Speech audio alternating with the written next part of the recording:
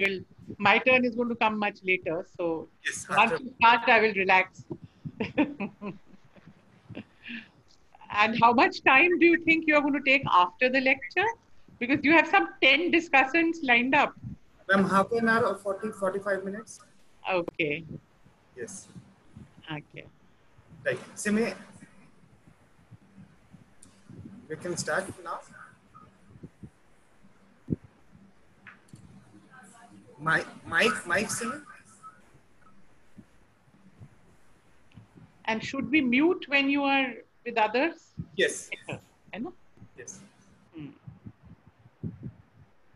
अपनी आज़ादी को हम हरगिज मिटा सकते नहीं and therefore we have all gathered here on the auspicious occasion of India's 74th Independence Day to be a testimony to a distinguished lecture from the lens of a historian, from none other than the expert herself, Professor Mridula Mukherjee. On behalf of Impact and Policy Research Institute, I, Simi Mehta, welcome you all this evening to revisit the vision of the Indian nation in the era of COVID-19 pandemic as we aim to build an Atmanirbhar Bharat. With these few words, I invite Dr. Arjun Kumar, Director of Impact and Policy Research Institute to moderate the session. I wish you all a very happy Independence Day. Jai Hind. Thank you. Thank you, Simi. And welcome everyone for this very distinguished lecture by Professor Mridula ma'am. And uh, uh, without wasting any much time, now I invite uh, Professor Bharat Singh to formally introduce chair for today's evening talk. Uh, Professor Bharat Singh. Uh, hello, all the distinguished uh, participants of this very good program. And uh, at the outset, I would like to convey my uh, best wishes for uh, the, this Independence Day, the 74th Independence Day to all of you. And Professor Salil Misra uh, is a well-known personality in the academic world. He needs no uh, introduction. Uh, however, as a matter of courtesy, I would give you the brief profile of Professor Misra. Professor, Professor- if you could uh, just uh, turn on your video. Okay, sorry. Sorry, thank you. Yeah. Uh, Professor Salil Misra is uh, Pro Vice Chancellor too at uh, Dr. B.R. Ambedkar University, Delhi, where he is also Dean of the School of Law, Governance and Citizenship, and also Professor at the School of Liberal Studies. His areas of expertise is modern Indian history with a special focus on the Indian national movement, communal politics, partition of the subcontinent, politics of language, Hindi and Urdu, nationalism, identity politics, and social science teaching. Professor Misra has previously taught history at the Department of History and Culture, Jamia Millia Islamia, and at Indira Gandhi National Open University. He was also an assistant research officer at the Nehru Memorial Museum and Library. He has been with the Ambedkar University, Delhi since October 2010 as professor in history at the School of Liberal Studies. Professor Misra has written two books, a narrative of communal politics, Ut- Uttar Pradesh 1937-39, and a monograph entitled Swaraj Party or in Hindi, brought out by the National Book Trust, uh, NBT, New Delhi in 1997. He has over 20 research articles in books and journals on various themes and over 40 articles at popular level of uh, for several national dailies. He has also uh, been associated with various projects such as Towards Freedom, sponsored by Indian Council of Historical Research, a collection of documents on the freedom struggle for the year 1942, and as a visiting researcher at the Center for History of Emotions. Uh, Max Planck History of Emotions, Max Planck Institute for Human Development, Berlin. He produced a monograph on emotions in politics and politics of emotions, making of a Muslim nation in colonial India 1937-46. Thank you very much. Welcome, sir. Yes. Welcome, welcome, Professor sir. Now we can uh, formally have chair's remarks over the event. Sir, over to you. Thank you very much. I am very happy that I was chosen to preside over this very important event, uh, the vision of the Indian nation in times of coronavirus. And uh, the, uh, the main speaker for today's lecture is uh, Professor Mridula Mukherjee, uh, who, who's sure who's going to be introduced uh, by the by someone from the institute. So I will not introduce her, except to say that many of us here in this meeting have been Mridula Mukherjee's student. She was in JNU and she taught some three to four generations of historians.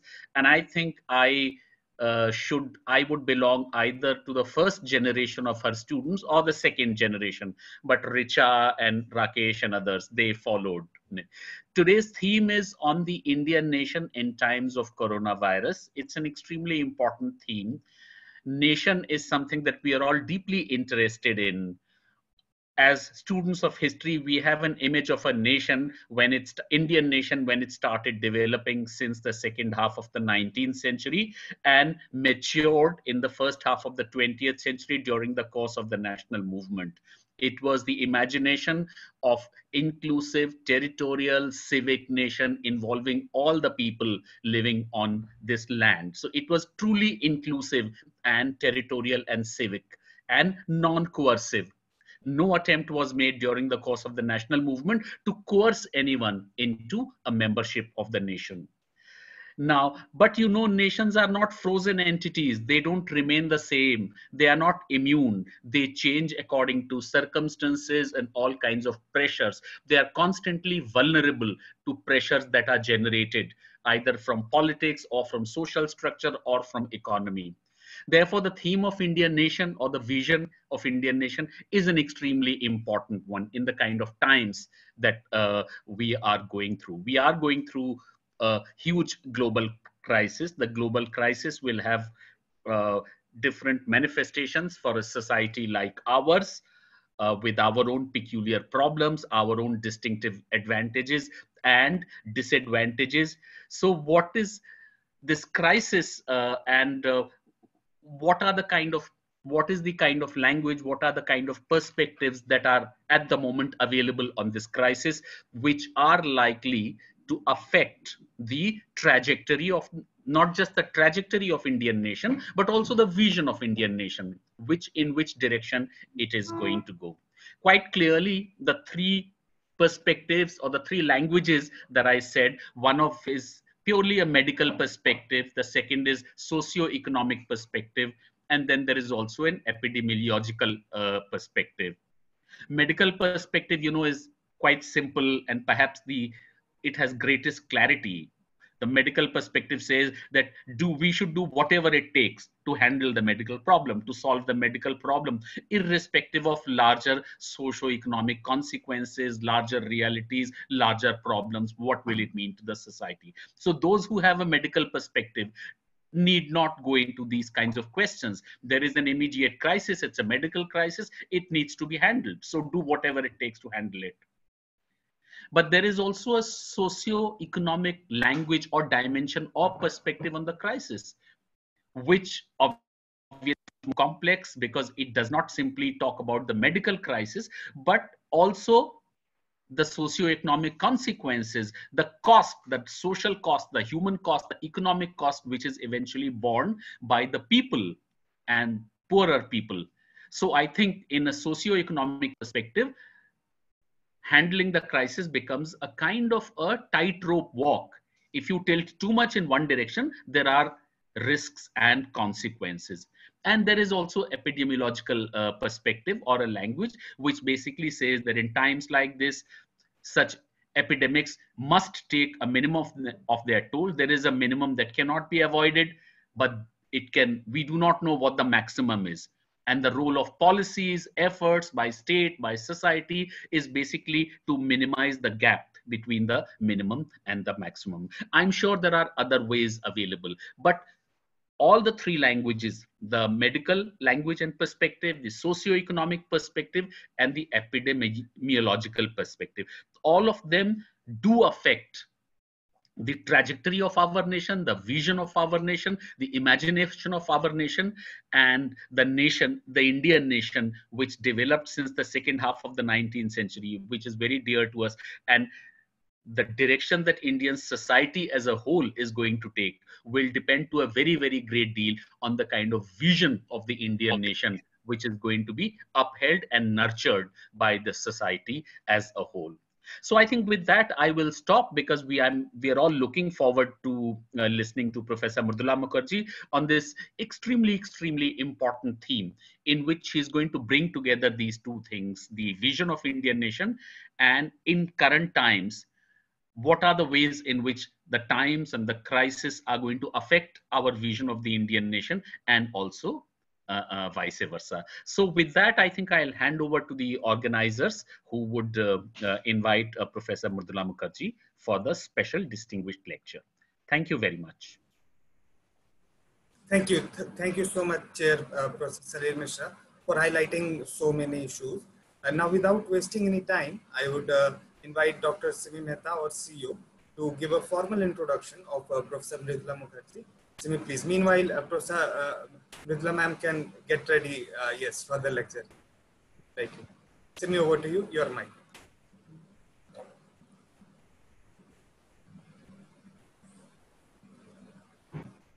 Thank you very much, uh, Professor Misra and uh, Dr. Arjun. Um, it is my honor to introduce to you Professor Mridula Mukherjee, who actually notes, needs no introduction because her work and her personality speaks for herself. But nevertheless, uh, I would try. Professor Mridula Mukherjee recently retired as a professor of modern Indian history at the Center for Historical Studies, Jawaharlal Nehru University. She has been the director of the Nehru Memorial Museum and Library, president of the Indian History Congress of Modern India, Dean of the School of Social Sciences, Jawaharlal Nehru University, and editor of selected works of Jawaharlal Nehru. She is the editor of the Sage series in modern Indian history, of which 14 monographs have already been published. She specializes in agrarian history, peasant movements, the Indian national movement, and Mahatma Gandhi. She has been a visiting scholar and fellow at several universities around the world, some of these are Duke University, USA, University of Tokyo in Japan, Uh, Nantes Institute of Advanced Study, France, Institute of Advanced Study at Lancaster, United Kingdom, Sao Paulo in Brazil, at La Sapienza, the University of Rome in Italy. She has also been the, a member of advisory board of the Long Room Hub at the Institute of Advanced Study at Trinity College, Dublin, in Ireland. She has co-authored two best-selling books called, the, called India's Struggle for Independence, published by Penguin in 1989. And in uh, 2008, she published India Since Independence. Both of these books have been translated into several languages. Her other publications are Peasants in India's Nonviolent Revolution, Practice and Theory, by Sage Publications in 2004, and Colonializing Agriculture, The Myth of Punjab Exceptionalism, again published by Sage. She has been a regular and she continues to be a regular participant in talks and discussions on radio and TV. So uh, thank you very much, ma'am, for joining us this evening and for accepting our invitation. With these few words, I uh, invite Dr. Arjun Kumar to take it forward. Thank you. Thank you. Thank you, Simi, for the introduction. I don't think I have anything else to say uh, than to, I was eagerly waiting. We all were waiting for, uh, for ma'am's lecture. So ma'am, over to you.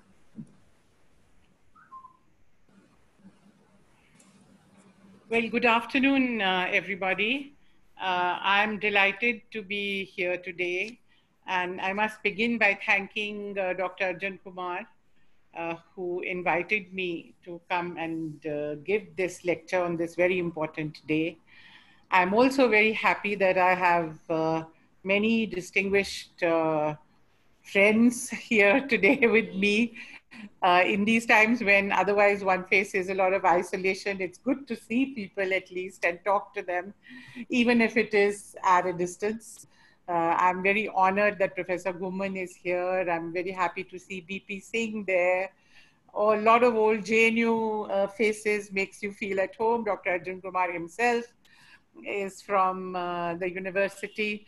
So I think uh, this, I feel very much at home in the surroundings that you have uh, created. Though I dare say I'm a little intimidated by the number of your discussants. I hope I have enough to say to give them something to uh, talk about. Uh, so with those words, uh, mm, let me uh, begin, um, begin my uh, talk. Yeah. Uh, as we know, today is a very, very important day. Uh, it's 73 years since we gained independence from foreign rule, and independence which was the result of hard battles fought by millions of our countrymen and countrywomen. We must never imagine that it was something that came easily. It was a non-violent battle primarily, but it was a very hard fought battle with many, many sacrifices. This battle, this epic struggle for freedom came about because there was a nationalist vision uh, that informed it, a grand vision for the future. And it was this vision which then inspired the millions of people who then joined this battle. Now, here, what I first want to do is to talk about what this vision was what were the contours of this vision? What were the important elements of this uh, vision? I will first summarize it very briefly and then take up some of its important uh, elements. Because uh, in the time that I have, it's not going to be possible for me to go into great detail on everything, but I will highlight those also which I think are very relevant for us today. So to begin with, I would like to say that there were crucial elements in this nationalist vision, which was evolved right from the time of the early nationalists, Dadabhai Naoroji, Gokhale, and coming down right till the time of Mahatma Gandhi, Jawaharlal Nehru, Subhash Bose, Congress socialists, communists, everybody contributed to this vision for freedom. And there was a consensus around this vision for freedom. What were some of its elements? The first and foremost element in this vision was the principle of anti-colonialism, that we would not accept foreign domination in any sphere of life. That was the most important moving idea, if you like, the prime mover of history, as Bipan Chandra calls it, uh, which attracted people, which was at the foundation of this great movement. So today also it is very relevant to us how we hold our head high in this world where hegemons rule the roost this anti-colonial element of that vision is still very very relevant for us secondly the vision was that we would have an independent economic development would be which would be self-reliant what the Prime Minister today, we are hearing from the rooftops, Atmanirbhar. My only quarrel is that it sounds sometimes as if it has been just discovered in the last few months. I'm sure people would know better and know that this goes back to the beginning of our freedom struggle. Right from Dadabhai Naoroji onwards, they said self-reliant economic development. In fact, the whole debate was on whether there should be foreign capital involved in it or not. And the consensus was no, it must be on the base of indigenous capital. So we must at least remember our past and our legacy. Thirdly, and very, very important and very, very relevant today, we cannot emphasize it enough, was secularism. That was also one, I would say, one of the foundation blocks, one of the foundation stones of the nationalist vision. You cannot understand Indian nationalism without this crucial foundation stone of secularism. Again, right from Dadabhai Naoroji and uh, his generation, Firoz Shah Mehta, to Tilak, to Aurobindo, to Vivekanand, all the greats of our freedom struggle, and of course Gandhiji, who gave his life for that principle, and of course Nehru, and of course the entire left wing, and of course all the Gandhians, and of course Sardar Patel, they all believed that Indian nationalism is squarely based on the principle of secularism. None of them differed on this question. I will discuss it at greater length later. The fourth important element of this vision was that of a faith in a democratic, republican, civil libertarian political system. I'm using all these words together to explain its flavor.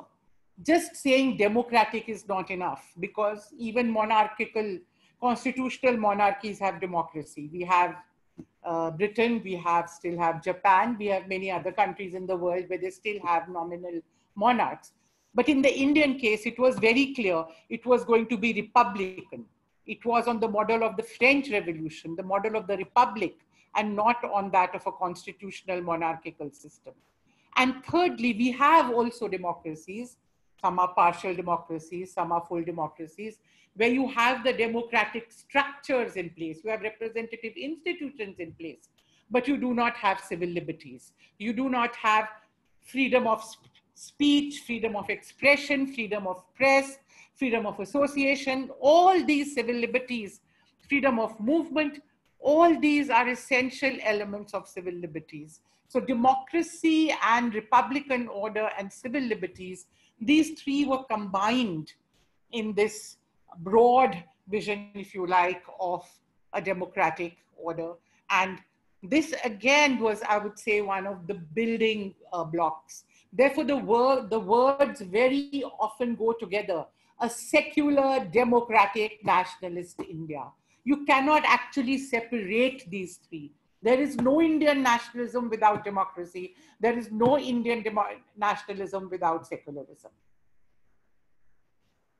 Fifth element that comes in again, and this is very, very important. And again, there is a consensus on this, right from the early nationalists down to the left, uh, the, the leftist forces, that the vision of the economic and social development of India would be an egalitarian one. And in this egalitarian vision, there were two components. One was the component of social equality. And the second was the, the vision of economic equality, or you could call it a pro-poor orientation. Both of these were part of what I'm calling the egalitarian vision. On this last one is the only one on which there was serious debate within the national movement. Once the left perspective, the socialist perspective came to the fore, you could say that many people talked about socialism. Jawaharlal Nehru himself was one of the main uh, propagandists for the idea of socialism in India, as were the Congress socialists and the, the communists.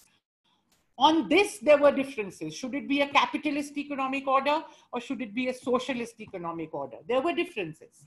And you could not say that one particular perspective held total sway. It was a contest, especially from the 1930s onwards. But on the other issues, there was total consensus, including on the principle of social equality.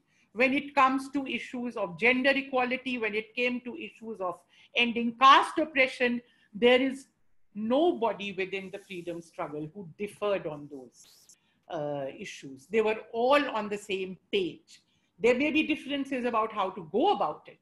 There is the Gandhian method of fighting for social equality, and there could be other methods, A Ambedkarite method.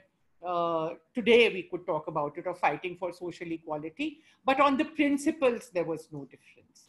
So I think I would like to uh, uh, go forward and take up some of these elements for greater uh, elaboration uh, because I think it's very, very important that we understand how deep the commitment to these values was. As I said, I cannot possibly go in uh, depth with for all the principles, but what I would like to uh, talk about uh, more in terms of elaboration would be on the issue of secularism and on the issue of uh, civil liberties and democracy. And uh, again, because I think I want to uh, elaborate, I, want to give you examples so that you are able to understand and get some flavor of the way in which the the ideologues of our freedom struggle articulated uh, this uh, issue. I'll first uh, uh take up the issue of uh, for the very simple reason that I think as I will go forward, you will see why in the second part of my talk. But I think we all will agree that it's today a very, very important issue before the Indian nation, before the Indian people, before Indian society. Are we going to remain true to the ideals of our freedom struggle when it comes to secularism? Are we going to uphold the principles of secularism which are enshrined in our constitution? Or are we going to go a different way? I think that is a very, very important question facing us uh, today in our society. So I'd like to go back and uh, remind uh, the viewers about what it was, how was it formulated, how was it looked upon. And here, of course, the crucial question was that of how do you deal with the issue of minorities? And then the largest minority, uh, obviously, at that, that time, uh, was uh, the, the Muslims. And I would like to take you back to 1942 because I find that just before the Quit India movement, when Gandhiji is giving the biggest call ever for a revolutionary struggle against the British, he is so concerned about the issue of what will be the vision, uh, what is the vision of India when it comes to the question of the minorities. In fact, I am surprised to find that in his famous speeches of 7th and 8th August in Bombay, just before the start of Quit India movement, uh, the amount of time that he devotes to the issue of what is this future India and especially the place of minorities within it, and especially reaching out to the Muslims to convince them that they were very much, uh, that there was no India without them. So I'd like to just quote to you uh, a few lines uh, from his writing, writing and speeches at the time. I'll, I will begin with uh, a quote from uh, draft instructions for civil resisters, which were presented to the working committee on the 8th of August by Mahatma Gandhi. They were to be adopted on the 9th of August. But the entire Congress leadership was arrested in the early hours of 9th of August. So these could never actually be distributed to people or given to people, but this shows you the intention. The pe- this, in these, the people of India are told what you have to do once the movement starts. I will just quote to you a few lines from there. After the withdrawal of British rule, the constitution of the future government of the country will be settled by the joint deliberation of the whole nation, including all parties. The government will not belong to the Congress nor to any particular group or party, but to the entire 35 crores of the people of India. All congressmen should make it clear that it will not be the rule of the Hindus or any particular community. It's so clear. It's the, the manner in which he articulates is so clear.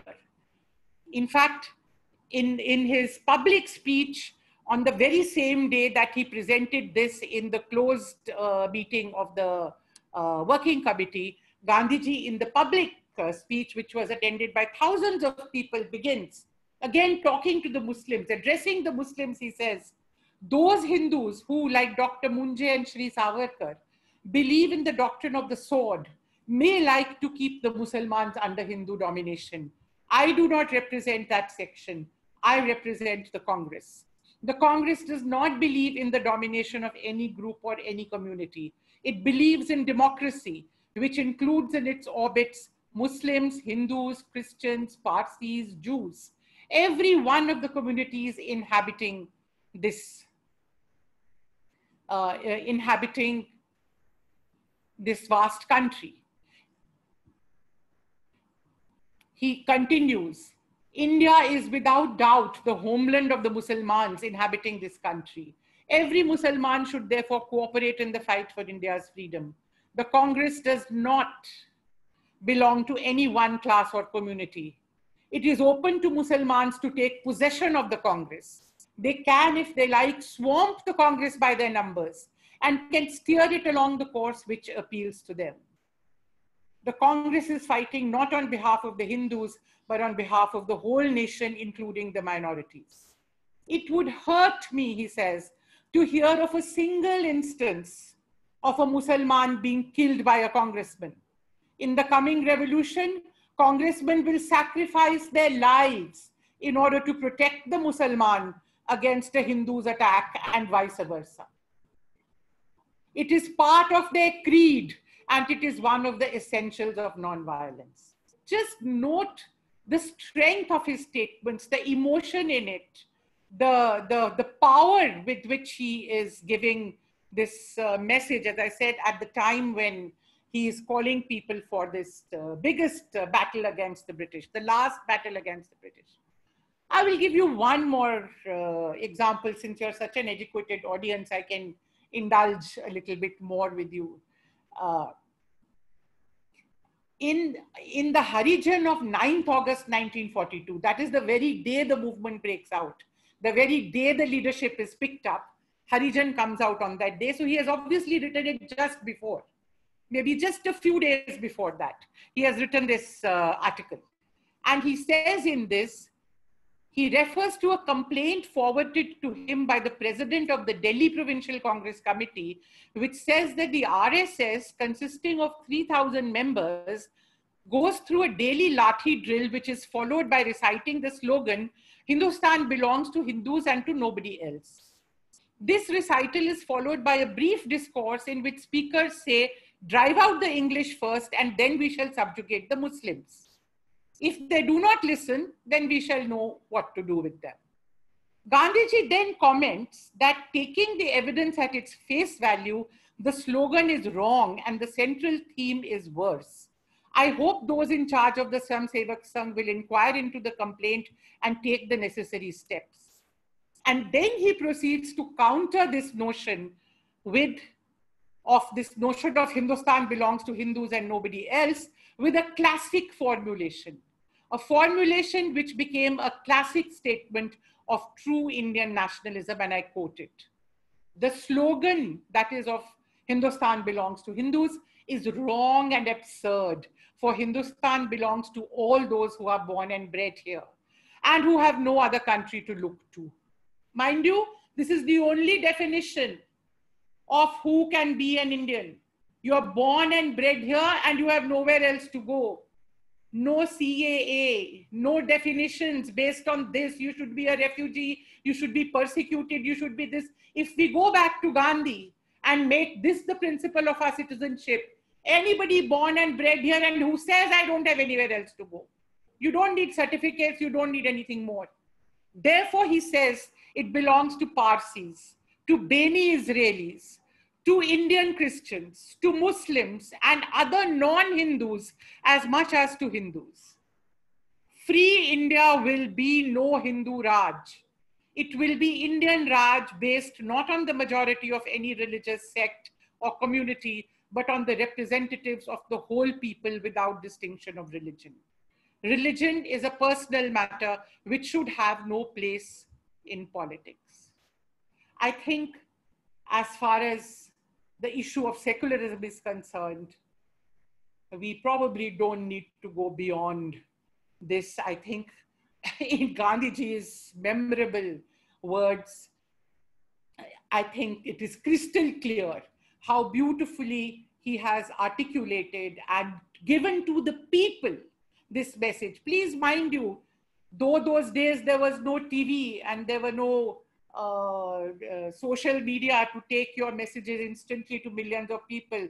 But probably Gandhiji's message even then reached more people than anybody's message reaches today.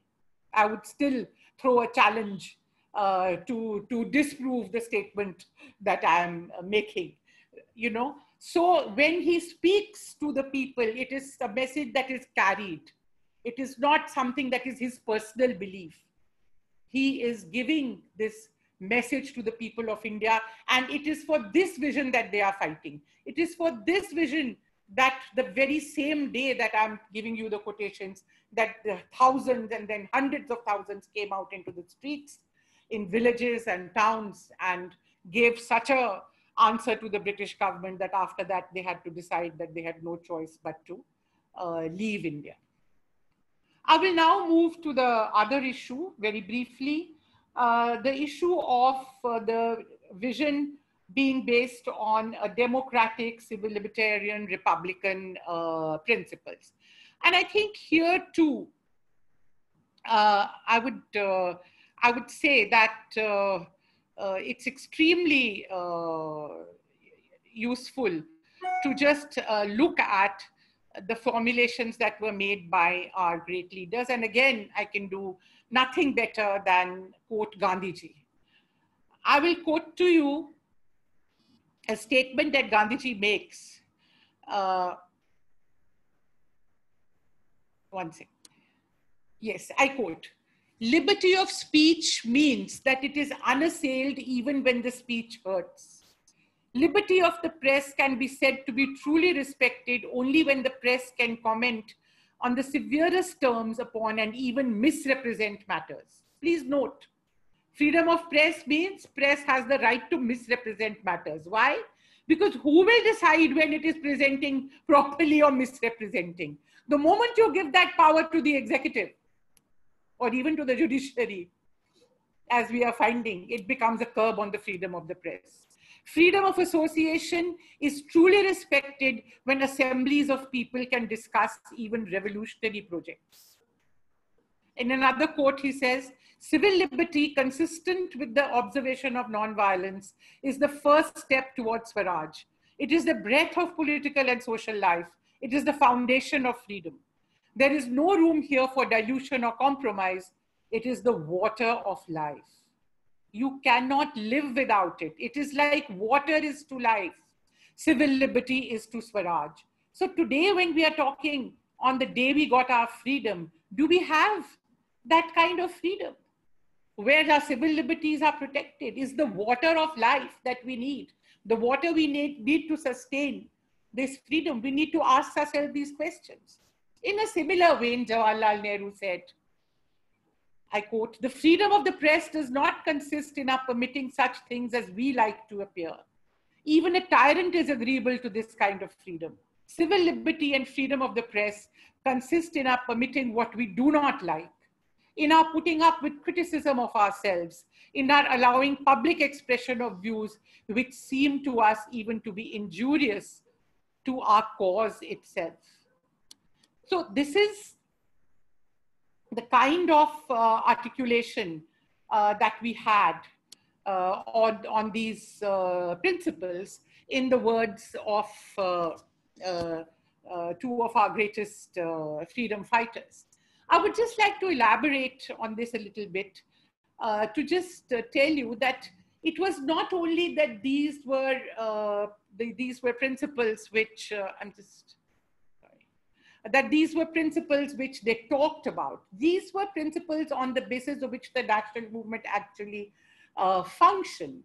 Important decisions within the Congress, for example, were taken on the basis of voting. Some, for example, the decision to start the non-cooperation movement in 1920, 1,886 people voted for it and 884 people voted against which was a resolution which was presented by Gandhiji. Similarly, when Gandhiji condemned uh, uh, the attack on the Viceroy's train uh, at the Lahore Congress in 1929, he brought forward a resolution. 794 people opposed his resolution and 942 people uh, supported it. So even within the national movement, the way the actual functioning was done uh, was in a manner that it encouraged uh, the, the practice of internal democracy.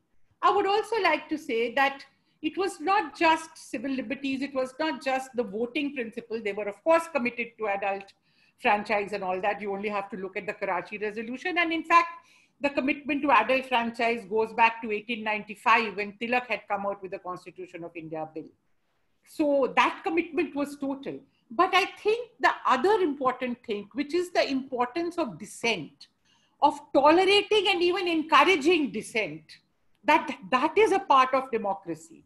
That is something very important. And there I would like to give you just one example. We all know that Gandhiji and Subhash Bose developed serious differences in 1939 on the issue of his second term as presidentship, uh, as president of the Indian National Congress. And it was a uh, struggle which was fought in the open. Ultimately, it came to a point where Bose had to resign. And in fact, he went and then formed the forward bloc within the Congress. He was even removed from the presidentship of the uh, Provincial Congress Committee Uh, of, of Bengal, and disciplinary action was taken against him. But at the same time, Gandhiji issues public statements where he says both sides must have the freedom to present their views. Those who are against the position of Subhash Bose, those who are for the position of Subhash Bose, must put their arguments out in the public domain and let people decide who is right and who is wrong. He never said that Bose must should not be given a chance to express his opinions or try to suppress it. Even more important, a few months later, the World War breaks out. Second World War breaks out. India, as you know, is made a party to the war without asking for the consent of the Indian people. The Congress protests, even though they support Britain and the Allies in the war against uh, Hitler, fascists, and Mussolini. Nevertheless, they are opposed to the forcible inclusion of India in that war. Now, the Congress Working Committee immediately calls an urgent meeting in Wardha, where Gandhiji has now settled down, as you know, in Sevagram, one small village in the middle of nowhere, but which became the capital of India because Gandhiji lived there. So a working committee meeting was called over there. This is after Bose has been expelled from PCC presidentship, after he has formed the forward bloc, after he was virtually thrown out of the presidentship of the Indian National Congress but he is invited to that meeting of the working committee. Socialists are invited to the meeting of that working committee, even though they are not members of the working committee. Why? Because it was a principle of the Congress which it was teaching its masses, teaching its followers that the nation is everybody and all opinions have to be respected and there is no freedom without dissent. So even those who dissent with you must hear them maybe they have something to say which actually is very valuable.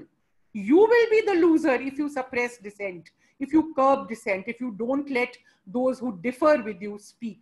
And this is what Nehru was saying in the quote which I had just uh, read out to you that you have to, uh, it, freedom means those who disagree with you. Freedom means freedom to criticize the Supreme Court by those who want to criticize. Otherwise, if you don't want to criticize, you obviously agree with it. You know. So this is the way in which these principles were uh, articulated during the course of our freedom struggle. I uh, I think for the uh, for the sake of uh, uh, time, I will not elaborate on that. I think these examples should be sufficient enough, and if people want to ask questions later, I will be more than happy to deal with it. I would now like to come to the issue of what is the status of that vision uh, today when we look at it from the lens of a historian, of course, but when we look at it in the context of the situation today, in the context, of course, of the pandemic, uh, also what it has done, but including that from the context of 2020, from the context of the present situation in which we are placed, how do these things look to us today? Where have we gone? Which are those principles where we may have actually uh, gone forward? Where are those principles where we need uh, to worry about? What kind of stock taking uh, can we do today? Because Today is a day of celebration, no doubt, but it is also and must be a day of stock taking. When we sit back and reflect on where we came from, where we are today, and where we are headed. That's the kind of way in which Independence Day should be celebrated. So I would like to take up a few issues.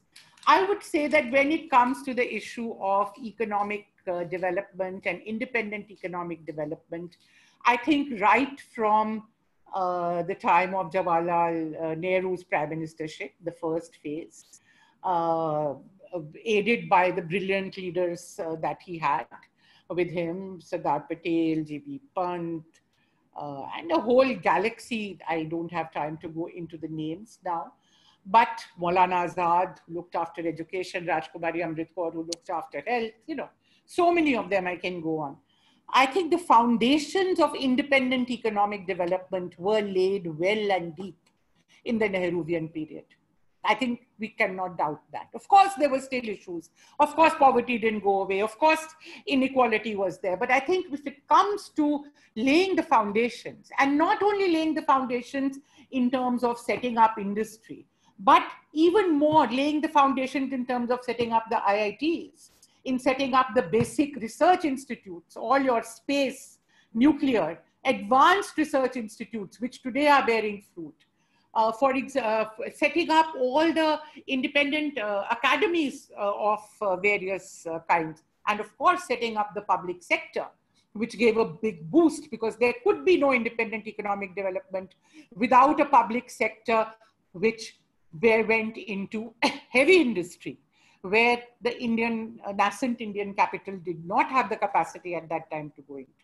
These were certainly strengthened uh, in the following years under Shastri and, and again under uh, uh, Indira Gandhi and right up till the 80s. I think in 91, when we went in for economic reforms, the understanding was that this policy, which has served us very well till now, needs some changes, what we call liberalization, because the world economy has changed. And though our aim remains self reliant development, it has to be done differently. We have to now open up. It, we must also remember that while these reforms were being done, the other principle of the vision, which was the egalitarian principle or the pro poor principle, was not abandoned, was not forgotten uh, it was, as Dr. Manmohan Singh uh, many times have said, that it was reforms with a human face or with a social, with a safety net.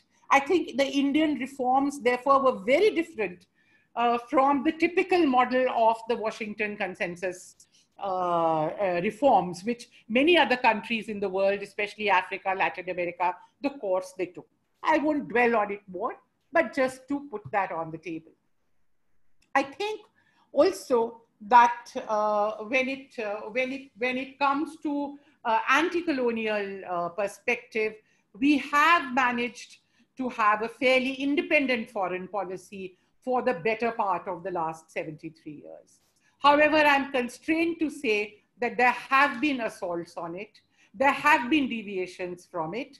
There have been weaknesses which have been shown. I don't want to go into the details, and we could do much better we could hold ourselves up far more independently than where recent developments have been there, especially on the Chinese front, uh, etc. Many instances vis-a-vis uh, the US, where I think we really haven't come up to the mark. But again, I don't want to go into too many details on that for shortage of time because there are other things I want to emphasize. And I'm sure other experts can do a much better job of that. I would like to uh, say that I would like to take up uh, basically uh, three issues. Let me first take up uh, the issue of secularism. Where are we headed today? Again, I think for good or for bad, sometimes better, sometimes worse. for the first 40 or 50 years after independence, we didn't do too badly. For 10 years, we did pretty well. Gandhiji's martyrdom, there was a catharsis. India was in a sense, saved from communal strife for the first decade.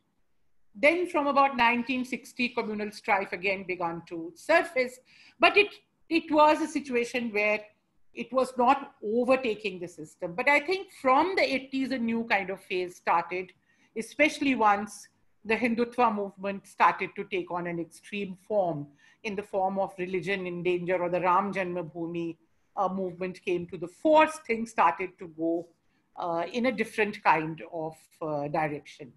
And I would say that coming to today, that this is here where I feel uh, uh, the biggest or among the biggest uh, dangers uh, that we have to look at today in terms of the vision for the nation. And I will just mention to you a few instances. I think the manner in which the Kashmir situation has been handled, you know, the manner in which on 5th of August, uh, the Kashmir situation was handled in a manner where the people of Kashmir were not taken along at all.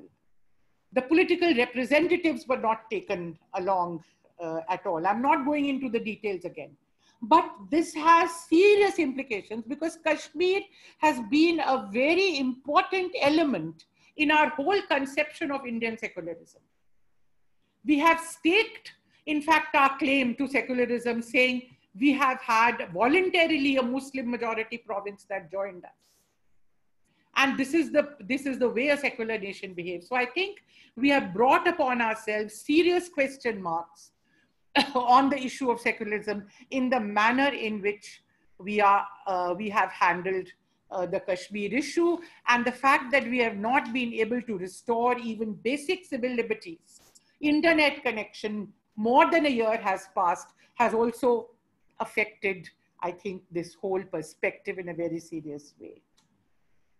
The manner in which we brought up the issue of the Citizenship Amendment Act and connected it to the possibility of an NRC. We all know what happened. I don't go into the details. Certainly, it was a direction away from a secular vision. Here, communal elements, majoritarian elements, majoritarian thinking was brought into the body politic. It was sought to be brought into the legal framework. The very definition of citizenship was sought to be done in a way that was different from what it is in the Indian constitution, where there is no bar on any religious affiliation when it comes to issues of citizenship. Again, I will not elaborate on that uh, further. Thirdly, I think the Ram Mandir uh, issue, the manner in which it has been uh, handled, and uh, yes, there was a court judgment, one hoped, that building on a court judgment which was taken by the Indian people with a lot of, I would say, uh, including the minorities uh, who could have had a lot of problems with it. It was taken with a lot of equanimity and with a hope for the future, with the hope that the future would be based on the act that was passed and which was mentioned in that judgment, the 1991 Act, where that no further religious disputes over places of worship would ever be permitted. But I think what has happened since then, a kind of majoritarian gloating, if you like, and I think the association of the state and of members of the state at the highest level with the process of the building of the temple, which was completely unnecessary because the Supreme Court itself said it should be a trust. And a trust was set up. And I think the trust should have been allowed to do its job without the representatives of the state coming in because it is that which goes against the secular principle. It is the open association of the state with any religion that is against the secular principle. It is not following religion. It is not believing in religion or going to a temple or visiting to a temple in your private capacity that goes against the principle of uh, uh, secularism. So I would say we need to think about where we might have been going astray. I think I would also like to mention, and since this is so recent, we had very unfortunate happenings in the northeast of Delhi in February uh, earlier this year. What is, okay, these kind of riots, these kind of mass violence, we are familiar with, it has happened many times. But I think what we need to point out is that the nature of this violence has been undergoing a change in the last, uh, you can say, in the last couple of decades from what earlier used to be a kind of clash between communities, increasingly these are becoming one-sided affairs. They, be, they take on more the character of pogroms rather than that of riots. We also have the very worrisome, pros, uh, uh, worrisome picture of allegations that the forces of law and order collude with certain elements, with certain communities, maybe with the majority community these are things which are very, very serious And we cannot afford to let these things happen if we want to preserve our secular order. During the pandemic itself, it was very disturbing how a certain incident which occurred in Delhi, in the Nizamuddin area, where a particular uh, religious gathering was held, how that was sought to be taken advantage of in a communalized fashion, how the attempt was to communalize it, to use it for political uh, purposes. We continued to use to get reports which were special reports on certain communities. So the result was that for some time, we even had in the public people belonging to certain communities, including telawalas, rickshawalas, sabziwalas, being targeted because they belong to a minority community, being attacked and people there being boycotted. What kind of India are we building in? This is not the kind of India Mahatma Gandhi visualized. This is not the kind of India where he says if anybody attacks a Muslim, a congressman, and the Hindu should be the first one to go and protect them when I think back of what our freedom fighters fought for, and I try to match it with what I read in the newspapers, I really wonder, are we, can we not see where we are going? And we do everything in the name of Mahatma Gandhi. We will clean India in the name of Mahatma Gandhi. Swachh Bharat. But, you know, I think it is very, very important that we do some rethinking when it comes to these, uh, these issues we do some hard critical look at ourselves. When it comes to the issue of civil liberties, I would say that the disturbing things have been the, the tendency to pick up uh, under very draconian laws such as the UAPA, etc., uh, people who are either academics or activists or uh, civil society uh, activists, lawyers, beginning with the Bhima Koregaon uh, case, where people who had nothing to do with the Bhima Koregaon case and who were dubbed as urban uh, Naxals, a large number of them were picked up almost two years ago and they're still in jail. Among them are lawyers, among them are academics, among there are uh, 80 year old poets. You know, I think this does not, this is not the kind of self confidence a free nation should have at age 73. It cannot bear criticism from harmless, actually harmless people, you know, and equating them with Naxalites and treating them as if they are serious dangers, including suggestions being made that they were in a conspiracy to actually assassinate the person who's holding the highest office. These are not the kind of people who do conspiracies. Even a child will know that. And then in more recent times, the kind of things we've had where students from universities, from uh, JNU, from uh, Jamia, Aligarh, how they have been picked up by the police, put in jail, uh, questioned.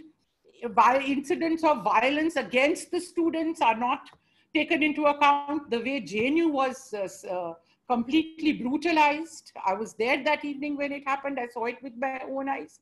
The way Jamia was treated, the way Aligarh was treated, that is not taken into account. But those who were protesting are the ones who are targeted and made further targets of uh, attack and uh, uh, interrogation. Obviously, this is not civil liberties, this is not democracy, this doesn't resemble anything like that people like Harsh Mander, people like Apurvanand, Professor Apurvanand has been called in for questioning. And now Prashant Bhushan has been uh, held guilty of contempt of court. A person who has been fighting on issues of human rights, fighting for the poor, the deprived, fighting without payment, you know, for a whole range of causes, a whole range of movements. He has been an unofficial uh, lawyer, spokesperson, if you like, for a range of all Gandhian causes, all non-violent movements like right to information, right to education, child rights. You have such a cause and you go to Prashant Bhushan and he takes it up. And such a person is now being punished. Even if you think he made a mistake, you could have reprimanded him and uh, let him go. Where is the need what message are we sending to our people, to our youth?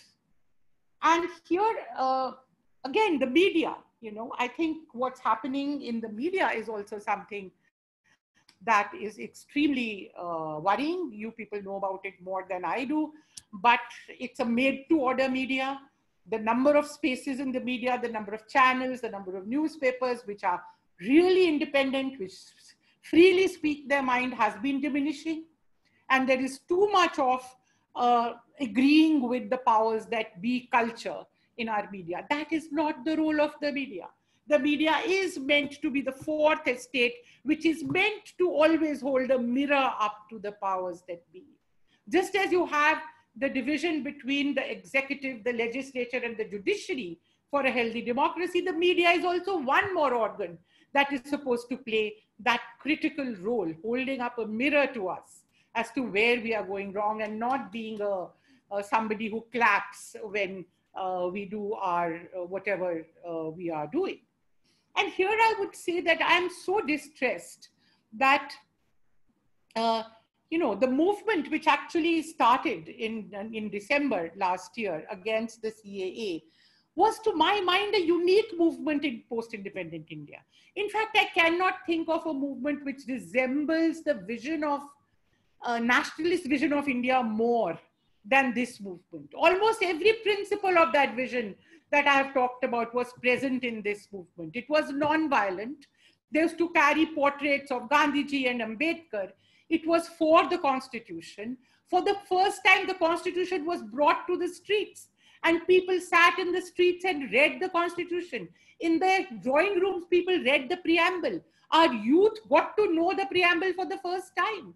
If this movement had done only that, we should have given it an award, a Bharat Ratna for having taken our basic principles of our nation to our people. What we haven't been able to do in 73 years, this youth movement did. And it was a movement of youth. It was not a movement of one community. It was a movement of youth, primarily students from all over the country. From all over the country. It was a movement of women. It was across class. It was across religion. That was the vision of the Indian freedom struggle. Mahatma Gandhi, I'm sure, could not have ima- could not imagine a movement that took forward his ideals uh, more. It was fighting for civil liberties. It was fighting for principles, secular principles of citizenship. And we crushed this movement, taking advantage of the pandemic. So, coming back to the pandemic, within the context of the pandemic, I think one of the tragedies of the pandemic has been the way one of India's most unique post-independence mass movements, I will call it a mass movement, has been suppressed. And that is really tragic because it was going in the right direction, picking up the right issues. And again, what is so sad is that now a whole narrative is being built that this movement, in fact, or people from this movement were in fact conspiring to indulge in violence and that the riots that happened in Delhi in the last part of February 2020 were a result of a conspiracy by people who were active in this movement. What could be a greater travesty? Harsh Mander, do you know his work? Do you, I mean, you know, he, Apurvanand, I mean, these are all people who believe in non-violence, who believe in democracy, who believe in civil liberties. You read their writings, you hear their speeches, you see their works. The, the all the organizers which Harsh Mander has set up, Karwan-e-Mohabbat. Some activists even laugh at him that he goes around, he looks like Gandhi and he goes around, tries to become a Gandhi. And even talks about non-violence where it is not relevant. But and here is a person you are, you are trying to say he's linked to a conspiracy to indulge in violence against uh, a section of our society. So I think somewhere some very painful uh, things have uh, happened and we really need to uh, as a society together not in a not in a, in a in a partisan manner i think the time has come to bridge those we need to talk the language of love. We need to talk the language of uh, comradeship. It's not a question only of blaming one or the other. We all need to look insides. We don't look at ourselves where we have gone wrong, where we might have failed. And here I would then like to come to my last point, which is about the pro-poor aspect of the nationalist vision, the egalitarian aspect of the nationalist uh, vision, and how I think that has been violated in the last few months, in particularly in the context of the lockdown coming out of the uh, pandemic situation.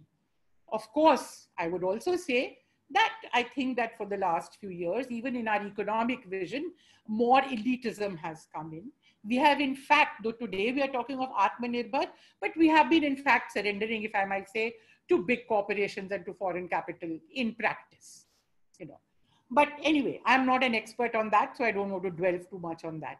But certainly, it is unforgivable the way in which we managed or mismanaged the pandemic, the lockdown, and then even when we saw the consequences, when we saw on our TV screens and our phone screens, and we could not ignore it anymore, when we saw the poor of our country in their thousands and hundreds of thousands, starving, crying, walking in the heat, their children being dragged along, them dying uh, in the transport on the way, what did we do? How long it took us to move to lift our little fingers. We were quite happy sitting inside our official Lutyens Delhi offices. Though our present establishment is always calling other Lutyens Delhi people, but they are the ones sitting inside these Lutyens Delhi offices and not be even reacting to what's going on outside. How could we do it? And who were the people who came out and fed the poor? The same Harsh Manders, the same civil society people, the same Indu Prakash Singh, who I see on my screen, who've been working on the with street children now for years, who have sat nights out in the cold, looking after the poor and the desperate, exactly in the Gandhian spirit. If I now pick up an Indu Prakash Singh and put him in jail or interrogate him, what India is there left? Certainly not any India that Gandhi ever thought about.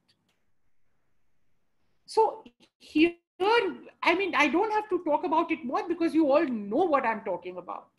You know, even today, when all the economists in the world, within the country, everybody with any, what shall I say, any wisdom is saying we need to spend more. We need to do cash handouts. We need to distribute food. We need to do what we can to increase the demand in the society, even if it is for the sake of industry, we need to increase demand. We need to put money in the hands of people. We need to put resources in the hands of people. We are still discussing our, you know, fiscal deficit and how we should manage it.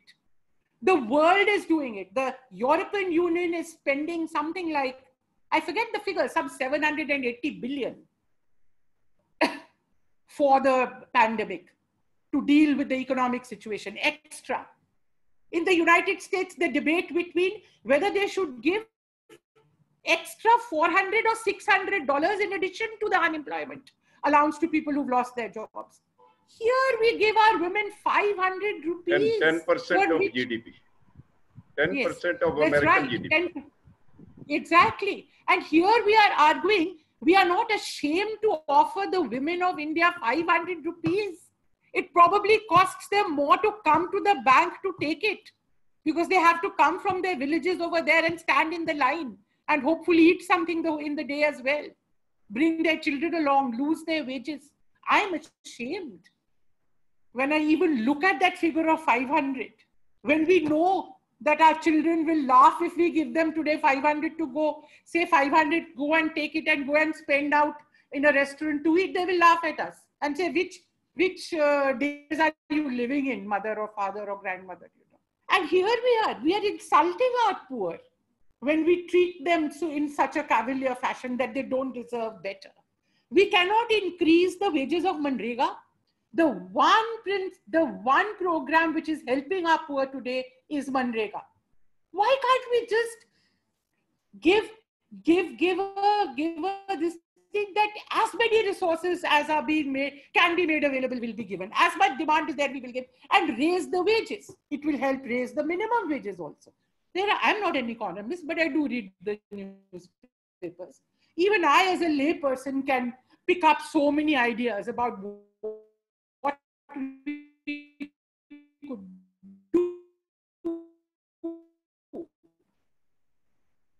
But this is the tragedy.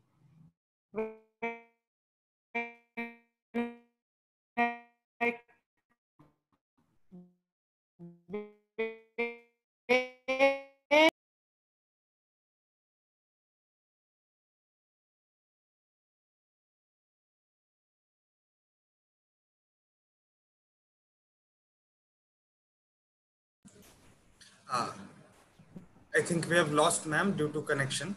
Uh, very pertinent uh, points by ma'am. Uh, uh, now I would invite Professor Salil Misra to reflect upon ma'am's lecture. I'll try to connect with uh, her. I, yeah, Yes. yeah, I'm okay.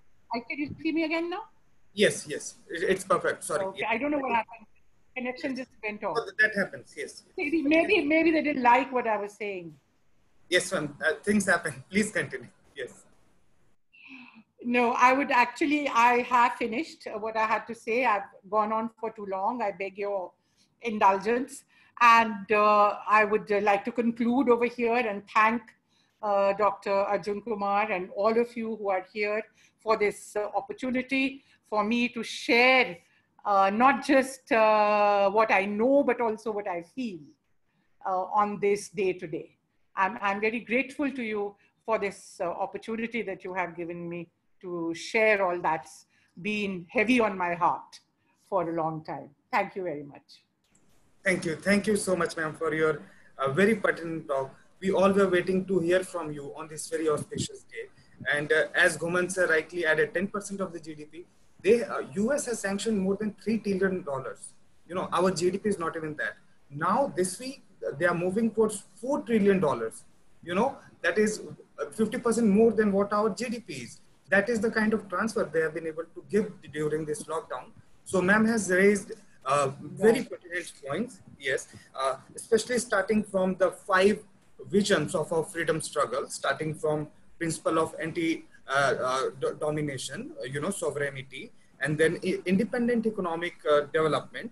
Atmanirbhar, ma'am also touched upon, and then ma'am, uh, specifically focused more upon uh, non-violence, secularism, and democratic civil liberties, uh, republic, and, and, and most importantly, in this modern 21st century India, uh, the very important aspect of economic and social equality.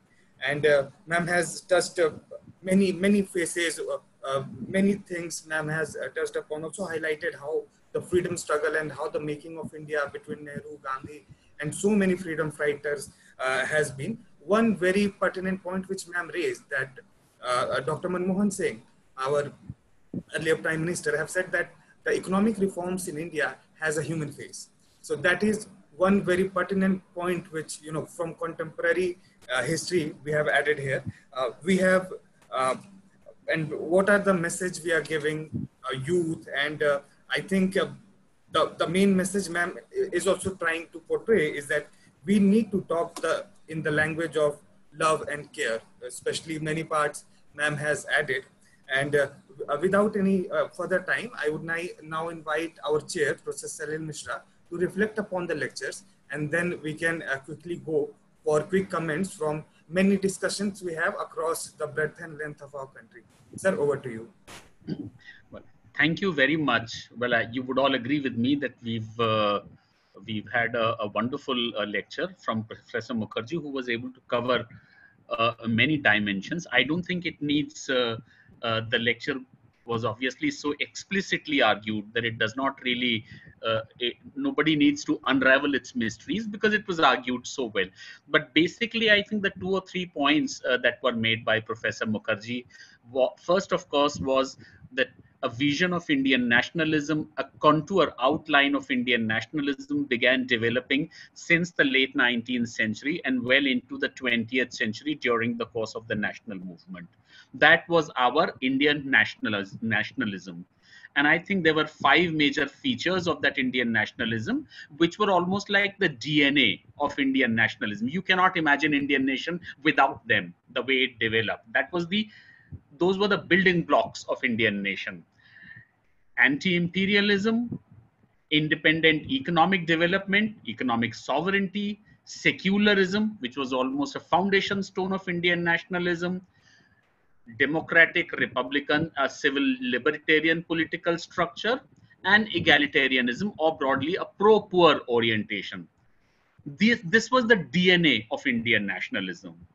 After India became independent, I think the first few decades the story was all right. There was there was there were problems here and there. It, uh, the blueprint obviously blueprints cannot really be operationalized with the help of willpower. There are all kinds of constraints but still all in all you could see that the hope was kept alive till the 80s the nation was doing well in the light of the framework that had developed during the course of the national movement. It was since the 80s that you can see a slide down that you can see very serious damages happening to that vision of Indian nationalism. And I think Mridula Mukherjee highlighted three such great damages or basically elements which are destroying the spirit of Indian nationalism. First, of course, was secularism since the 1980s, the violence against Muslims, a kind of communalization of society, a certain majoritarianism taking over, communalism entering state structures, bureaucracy, civil society, our education being affected by that. So I think a great damage, whole edifice of secularism began to be damaged. Second, of course, was civil liberties, how important civil liberty was to Indian national, to the vision of Indian nationalism, to our leaders like Gandhi and Nehru, and how suddenly uh, that vision of civil liberties is also under a great threat, under a great assault.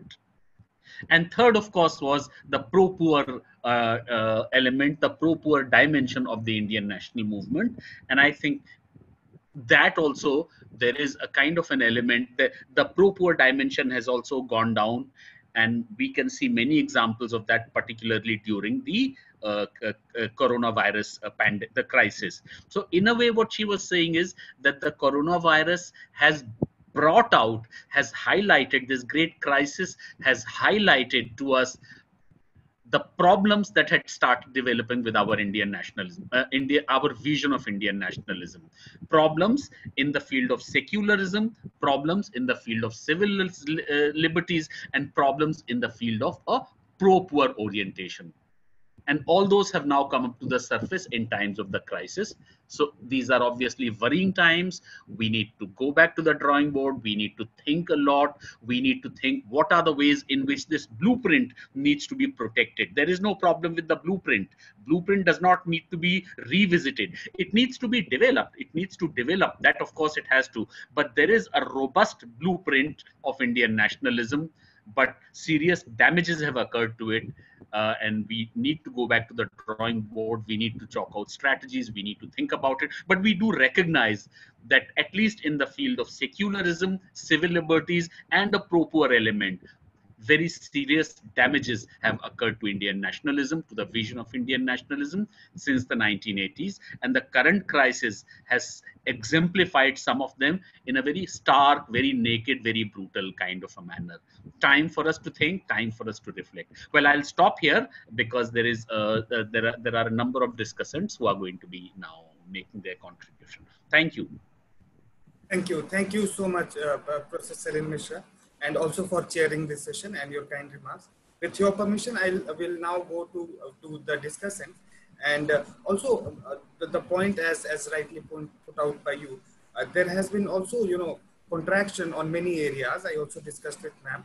Uh, countries are also becoming, you know, protectionist. So also from economic sphere, many other things are also developing. That is why I just wanted, you know, to, to highlight because uh, our the former Prime Minister Dr. Manmohan Singh, the whole era which uh, people like me, the young people, we have we have lived this this era of liberalization and and di also diversity and you know modern modern India. So we in our discussions we have uh, people not just from history but from different spheres of, of uh, ed education, life, uh, bureaucrats also also from elected representative and you know professors from different departments and uh, also social activists like uh, Dr. Indu Prakash Singh here to share with us and on this very auspicious day.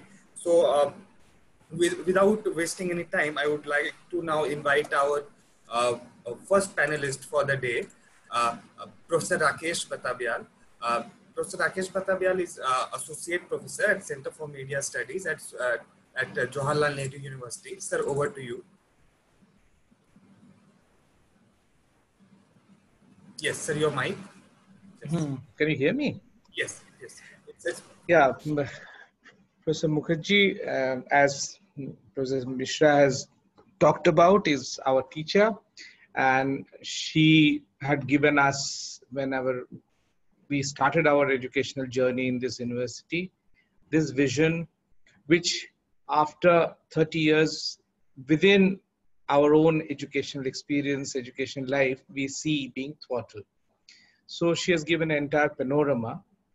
And I take a cue from her um, lecture and just spend two, three minutes as to what I would, from that, uh, weave into the way I look at it uh, in this moment of COVID uh, pandemic. Now, any any global phenomena, including the economic globalization that began in the 90s for this country. Uh, similarly, uh, world wars were global phenomena, it became global phenomena. And similarly, in 1896, the Spanish influenza, for example, 1920s, there was a plague which was also had a global dimension. So what all these global events with global dimension does is to present a crisis and as Salil, uh, Professor Misra has elaborated one point that, uh, and what uh, Professor um, Mukherjee had talked about, is that the pandemic, and since in your title you're talking about it as an era, so what this four five months of an era or a year of an era does is, uh, historically they have done and it is doing, is to present the crisis and it brings certain phenomena which was happening which was engineered which was natural everything happening and bring them to a relief the kind of sharpness so what uh, Mridula Mukherjee was talking about is the sharpness of those things which has reached us now and we are seeing the stare. I was sitting in a meeting a couple of days back in a Zoom meeting when one of our faculty was newly appointed completely all fraudulent uh, practices through all fraudulent practices. And I was thinking that uh, 10 years back, the same candidate would have been come from another party backing. So what we are doing is actually killing at some of the basic morals of the society. In that sense, the pandemic and the regime that is now handling the pan pandemic has actually got a lot of sustaining uh, traits from the processes that were happening.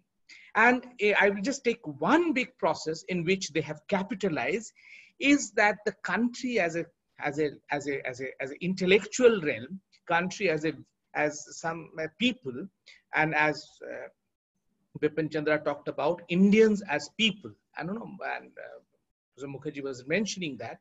So as a people, we have somewhere let it allow to happen and that is when we as you talked about economy being contracted we as people became becoming contract we are contracting our own vision and there and make this point slightly elaborately so that it covers all the discussion discussion point that Mr. Mukherjee had talked about secularism, economic well-being, egalitarian.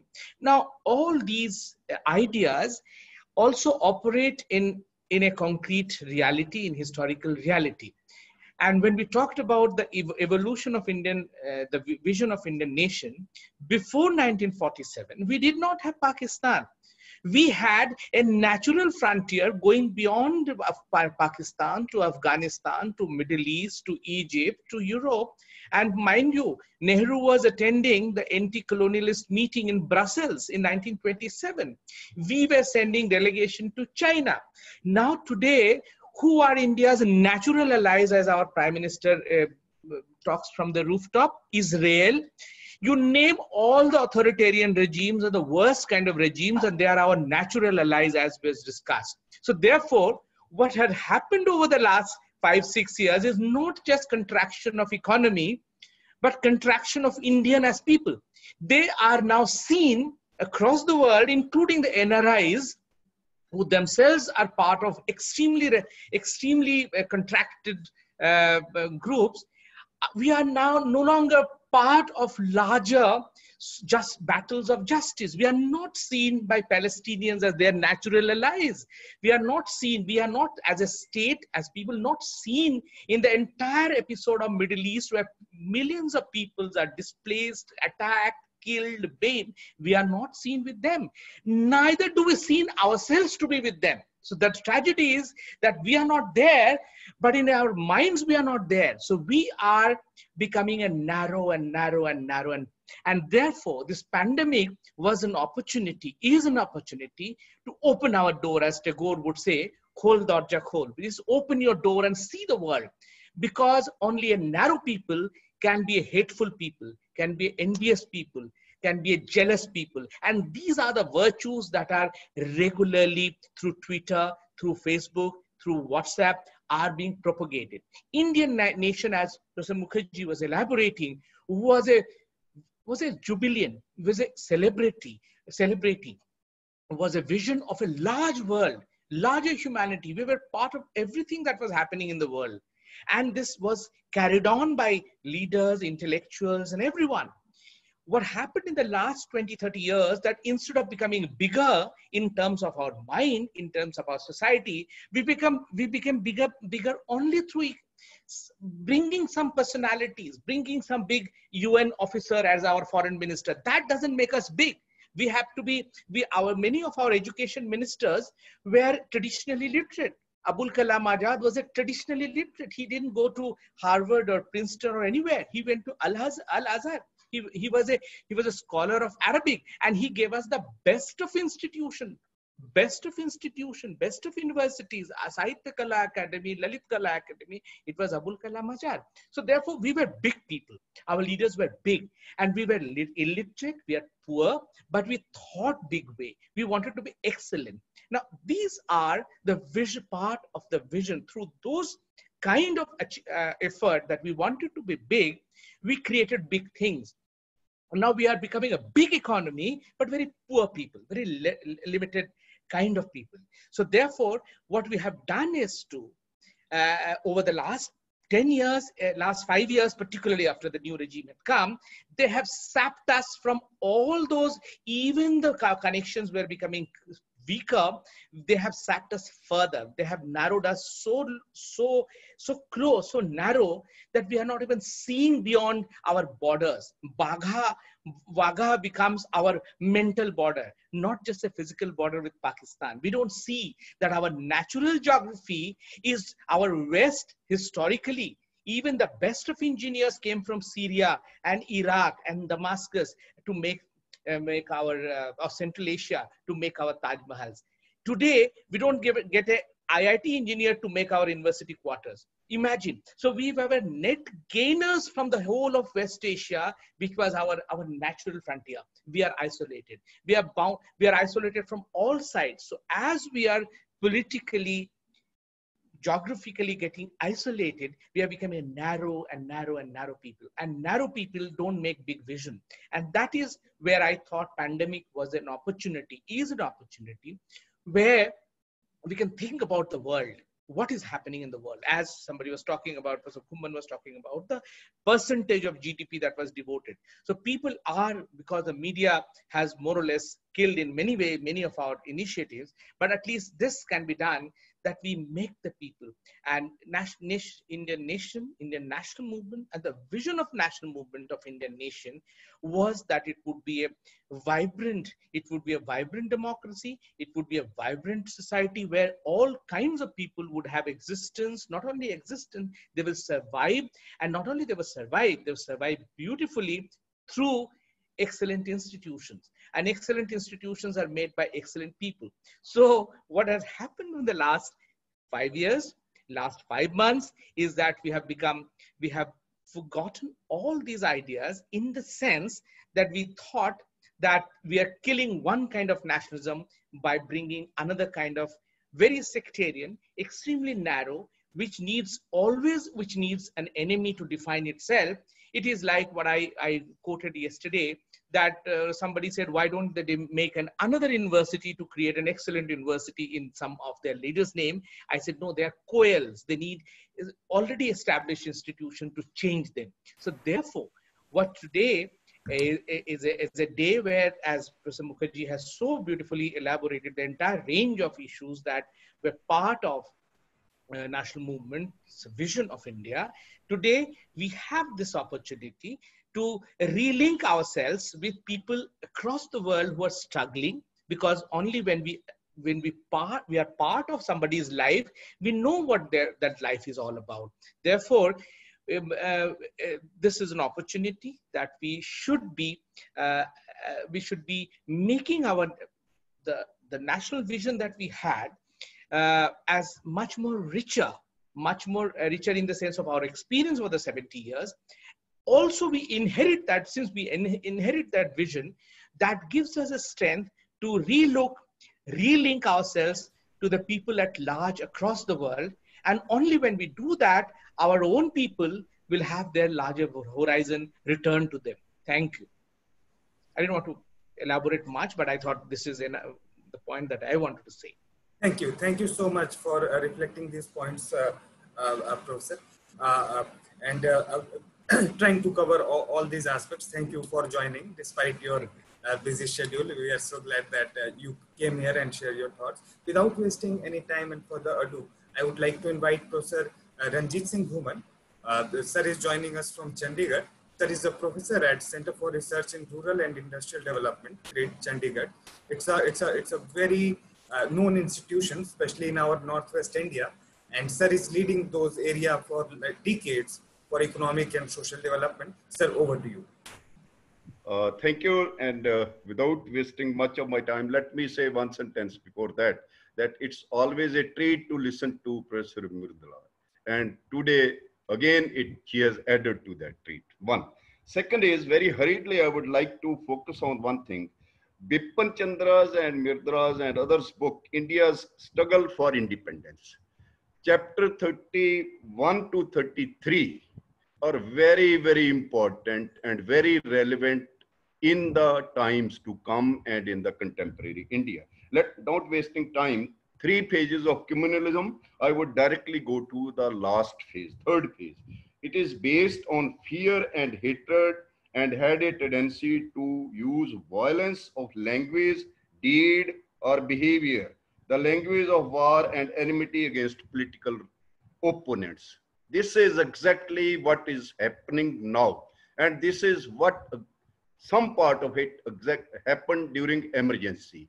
But at during emergency, one thing different was that it was not communal against the uh, any uh, commu community it was against the political opponents but now it's both against the political opponents as well as the other communities, particularly I would say the minorities which constitute about 25% of the Indian population. And as a student of economics, I must say that keeping 25% of the minorities unsettled, under fear, under threat, we cannot have peace and peace is prerequisite to development. So we cannot have development and the kind of India we want to build.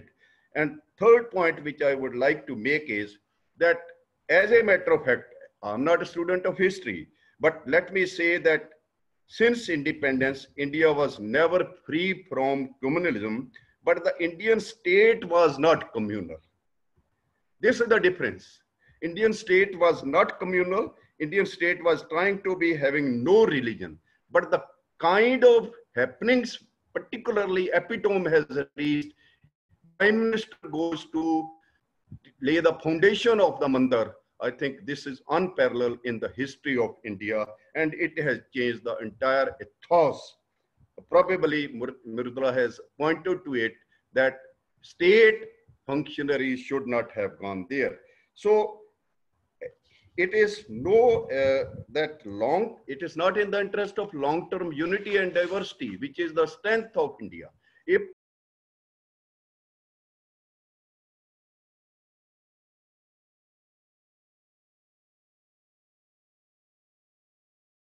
sir your mic is mute. Okay okay. Uh -huh. okay. Uh, it's earlier was uh, it was on? Yes yes sir. It's okay, fine. okay okay.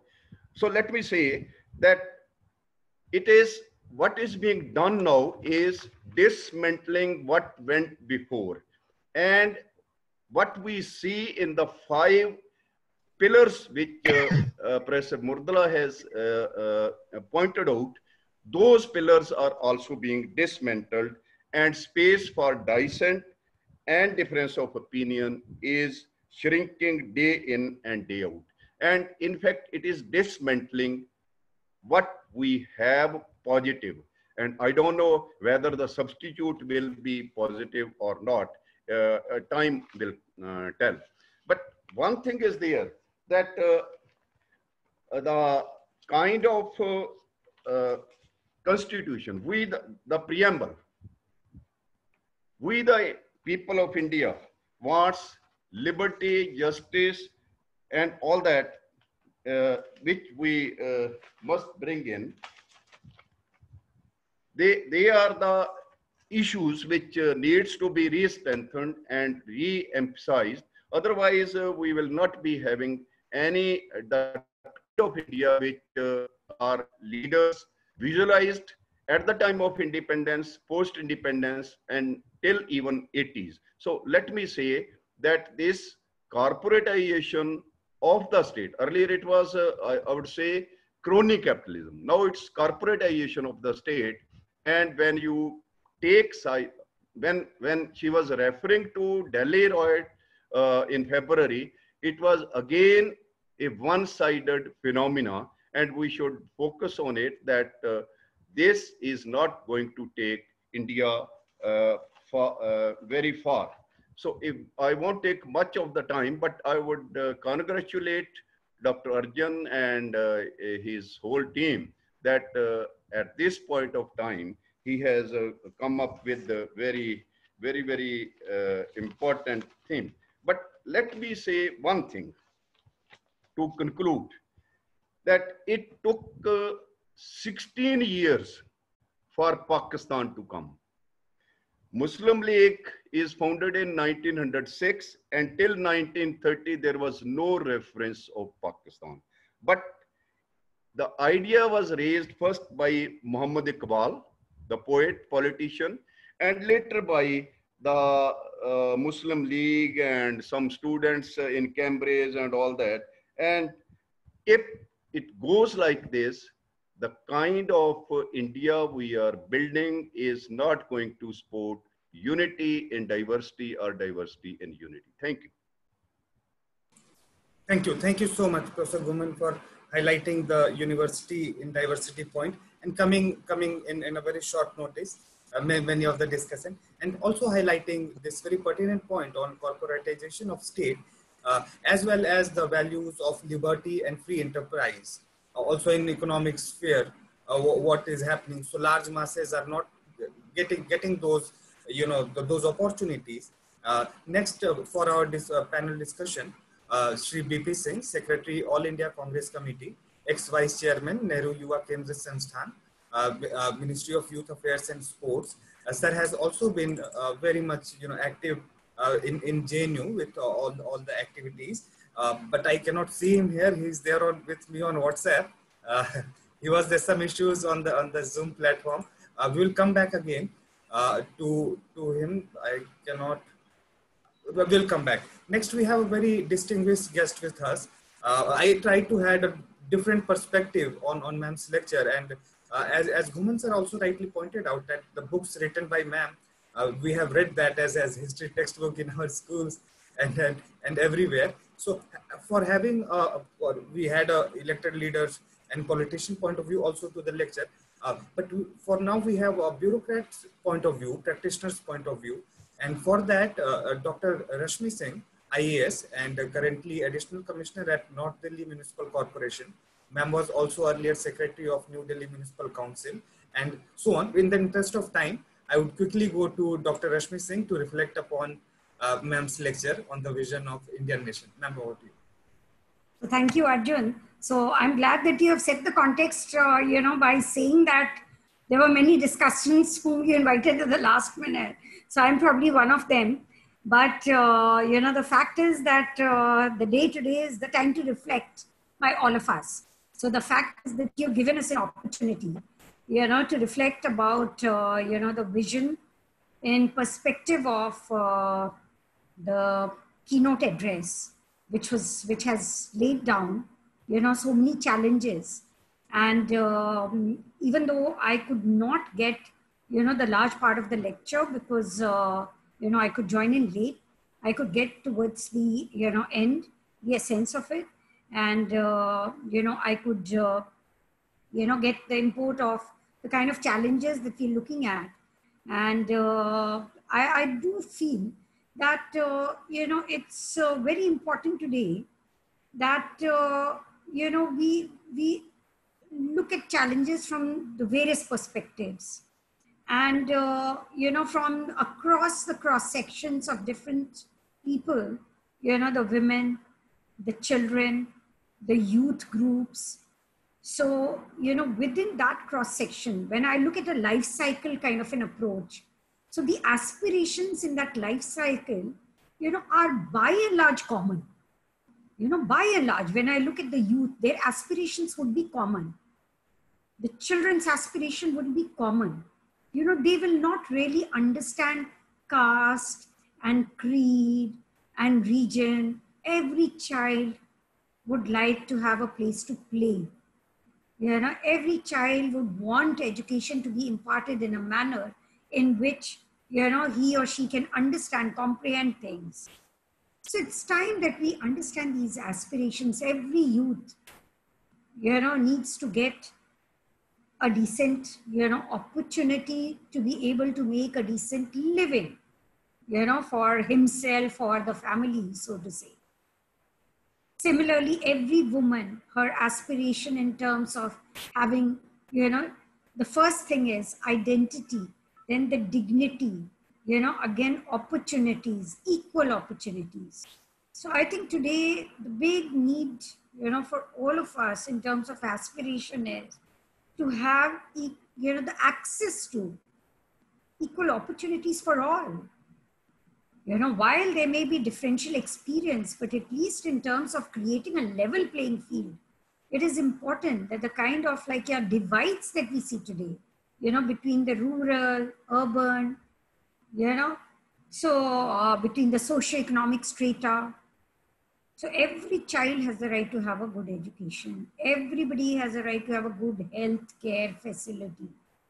So those divides, in my view today, you know, have it's time that we address those hardcore governance issues and uh, you know which are outcome based very concrete outcome based and uh, you know the aspirations have to be kind of reflected by our intent to be able to fulfill you know targets in terms of quantitative and qualitative milestones that that cannot possibly be done by the government alone i also feel i you know i work for the government but I know that the civil society also has a very important role. You know, just now I was in deliberation with a movement called Tisri Sarkar, where we were talking about the role of the local bodies. Now in local bodies, the urban local bodies, the panchayat, the gram sabha, you know, who is actually making the gram sabha? You know, people themselves are making the gram sabha, but how many times do they really participate in it? We find that many of the agenda, it will just get passed by, you know, kind of proxy participation. So it's time that people have to start getting engaged in the whole process, you know, in a much more active manner, which affects their daily lives. You know, daily lives in terms of the, the, the, the decision which, which the, the government institutions will make across like different layers, you know, be it at the level of panchayat or, uh, you know, elected municipal body or uh, your like local MLA making a decision or a member of parliament making a decision. So that it has to reflect people's voice. But for that, it is very important that every aspiration is not just aspirational theoretically, but it gets practically translated into communicating the same. It has to be communicated. You see, there was a time when women's uh, well, security was not so much of an issue to be talked about. You know, there was a time when, like, yeah, you know, many women will suffer in silence, you know, be a victim of domestic violence at home, but not talk about. So I, I feel that now it is the time to, you know, set the development discourse in terms of, you know, certain uh, practical nuances of life which affect us, but we have been like, you know, kind of treating it as a part of life. You know, why I said like women's issues is because I have worked a lot on these issues, even during my stint with the Ministry of Women and Child. So I've seen the kind of indicators that we have, you know, data reflecting that while 54% of the women, you know, saying it's okay, we've been used to it because it's a cultural notion to remain silent about it. So, you know, let's start questioning these. And of course, like, you know, livelihood and, you know, something which affects everybody. So when I talk about opportunity, you know, so let's start looking at all these critical development issues, you know, be it our IMR, infant mortality rate, our maternal mortality rate, our child sex ratio, our, uh, you know, the, the, the school enrollment rate, you know, the retention rate, you know, at the senior secondary level. So all these brass track issues will tomorrow make our governance also more accountable. For people like me working within the government, if I know that I'm being asked these questions, you know, I know that whatever I say about the fact that I'm working very hard, you know, unless if I'm made more accountable, you know, by like somebody questioning my actions, that how does it really translate into outcomes? So, you know, that's a reality of our time that more people are aware, more people are educated, you know, the more people start engaging themselves, you know, by making governance accountable, you know, the better would be uh, the kind of, um, I would say, the, the delivery and uh, the, the robustness of the institutions. Because today we are, you know, all talking also about the resilience of our institutions, right? I mean, whether, whether they have the space you know, so the resilience of our institutions, in my view, also has to start looking at all the institutions, you know, starting from even our family as an institution, the school as an institution, the Gram Sabha, the Ward Samiti, you know, so all these institutions, so they all have to be made accountable. Then only like, you know, we look at the entire, you know, kind of, uh, it has a, the cascading effect does not really have to just be top down. You know, it can, there can be a bottom up approach you know, so it's a reverse model, you know, where we set agenda right from the grassroots. So that's all I had to say about it. Thank you. Thank you so much, uh, Dr. Rashmi Singh, for highlighting the uh, participatory uh, aspirations and universal social security aspect and outcome-based and institution, many, many, many uh, dimensions. Uh, uh, Samir Unhale sir, uh, IAS and also Joint Commissioner uh, Municipal Administration in Maharashtra State uh, was also with us. He just uh, uh, left few moment ago, but he has left us uh, with a question to ma'am, directed to ma'am. Um, it's not, yes. And sir is asking that the Spanish flu in India from 1918 to 1920 was very bad. and some claims that in India, the death due to this pandemic was to the tune of 10% of the population, around 2.5 crores.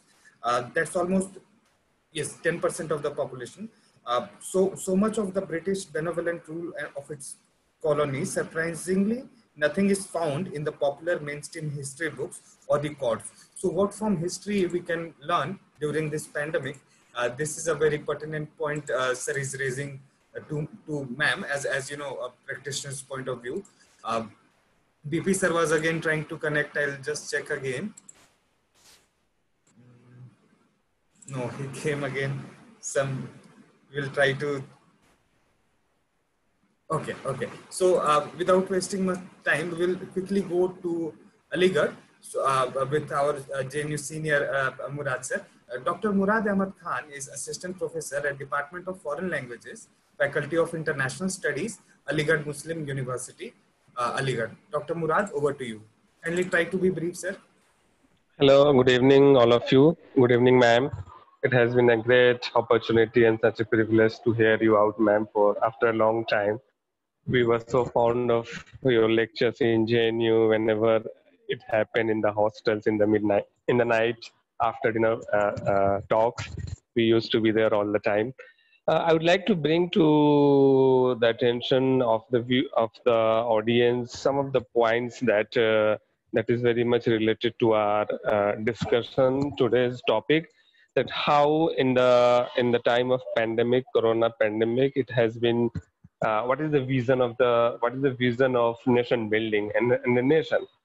Uh, as ma'am rightly pointed out in the very beginning of her speech that how Gandhi, Gandhi used to have a dream and all the important philosophers and the great nation builders used to see this dream that the country should have been an inclu inclusive society where there could be a space for all all kinds of minorities and particularly the largest minority of the nation. How but i would like to uh, again go back to uh, a speech by our prime minister modi that he said at, at, in, in one of, one of his speeches that how the pandemic uh, the corona pandemic crisis could be turned into an opportunity. I certainly saw this but very negatively in a very negative manner that how the bjp and the right wing people and the government could actually turn this pandemic crisis into an opportunity to crush the voices of the people, particularly seen from the point of the view of the of those who actually wanted to defend the democratic values of the constitution. As ma'am, as ma'am rightly pointed out, and ma'am said in her speech, in her lecture, that uh, never ever before in India at such a large scale. The constitution was read out everywhere. The preambles in the drawing rooms of the people also read out loudly. Very loud and clear message was sent. Never, never ever after independence of India we had seen such a moment where people could actually stand out, come out in large numbers, and without any fear and any threat in their minds to actually defend and protect the constitutional values of our, of our democracy. The constitutional values actually not only of the democracy, but the vision of a nation which was actually propagated by Jawaharlal Nehru and Mahatma Gandhi. Ambedkar also, Baba Bhimrao Ambedkar spoke about the same, how the country should have been an inclusive country, an inclusive nation. And that is the main point today that is faltering a lot and everybody everywhere in each and every policy of the government that is that is that is that is lacking. You see in last 5 to 6 years we have seen how the prime minister himself had not been ever not been ever able to dedicate any line a particular congratulatory message to the minorities and in, in, in, in the most important occasions of the festivals of the Muslims and the minorities, it has been totally ignored.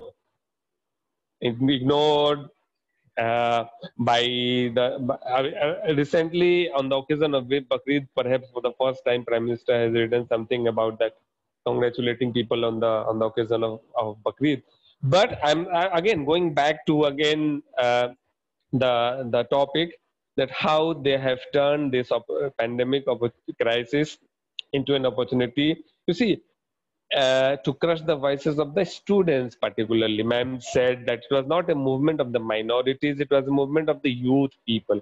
I totally agree. And I, I can't agree more than this that actually it was a movement of the whole people. The people who are actually the struggle that we had seen before independence had the hard fought uh, battle that we had seen before independence and the inclusive nature of the battle that we had we have ever witnessed uh, before independence. And after that i don't i mean i had not seen in my life such a large scale movement taking place in india. But how this has been for example take, for example uh, citing uh, one instance that how the movement of the of uh, the uh, movement in Aligarh Muslim University against the CNA, CA and NRC had been brutally crushed on the night of the 15th of December. On the same night, there was the brutal attack by the police in the libraries and in the campus premises of the Jamia Millia Islamia And at the same time, the women who were protesting in Okhla, the women who were protesting in Shaheen Bagh, that was a democratic process. It was a democratic uh, protest which was happening for a long uh, period of time, for months. It had they had been, they have, and it, it is the right of the people to protest. It's a fundamental right that the people can protest against any kind of policy of the government. And why can't protest? Why to strengthen the voice of the government who is actually formulating policies? People may go against it people do not necessarily have to go in favor of all the policies that government that the government that the government formulate in the on the house of the parliament why not going against it maybe people are people are mistaken but the government has to have a proper dialogue with them but in this case the people were not mistaken everybody came all the people hindus muslims sikhs alike came women youth students, uh, people like Harsh Mander and Ma'am was citing the cases of Harsh Mander and social activists Prashant Bhushan. We have just seen the cases. Seems very ridiculous to be labeled as anti-nationals and also the contempt of court, contempt of court just on the matters, just on the matters of just asking, raising questions on the Chief Justice maybe or on the institutional procedures.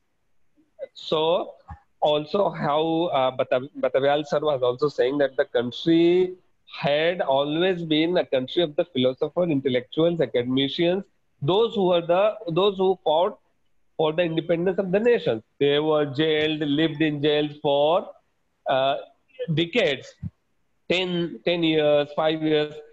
But how they let down the foundations of the nation, which could be an inclusive nation.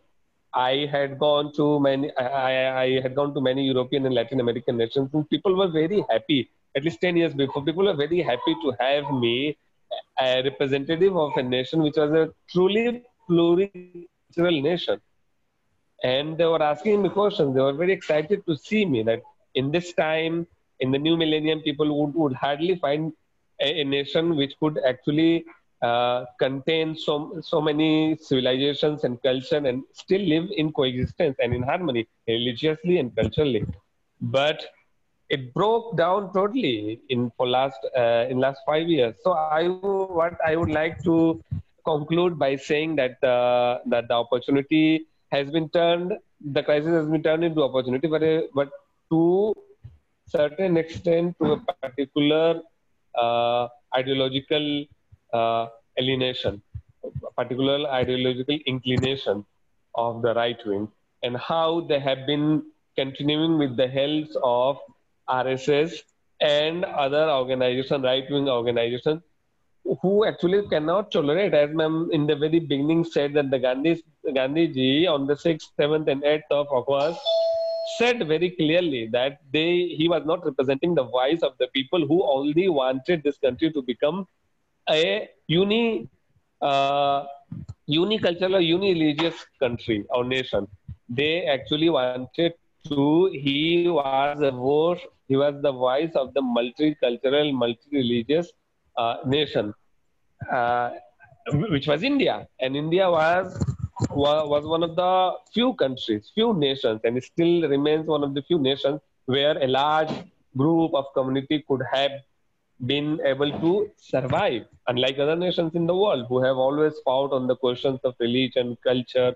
But defending that, defending the visions of those people had been such a difficult task in the time of uh, uh, coronavirus pandemic today. And also, I think had there not been coronavirus, situation could have become even worse, I guess. And that is going to be continu- that is going to be continued in the light of the form, uh, the implementation of the newly uh, passed bills by the parliament, which is CA and NRC. Thank you so much. I will conclude by saying the same, and may we could may uh, defend the pluricultural character of the country called India. Thank you. Thank you, thank you so Yes, thank you. Thank you so much, Dr. Murad, for raising your critical points on, on secular and many other aspects for this. Uh, without wasting any time, I'll quickly go to uh, Dr. Richa Raj. Ma'am, are you there?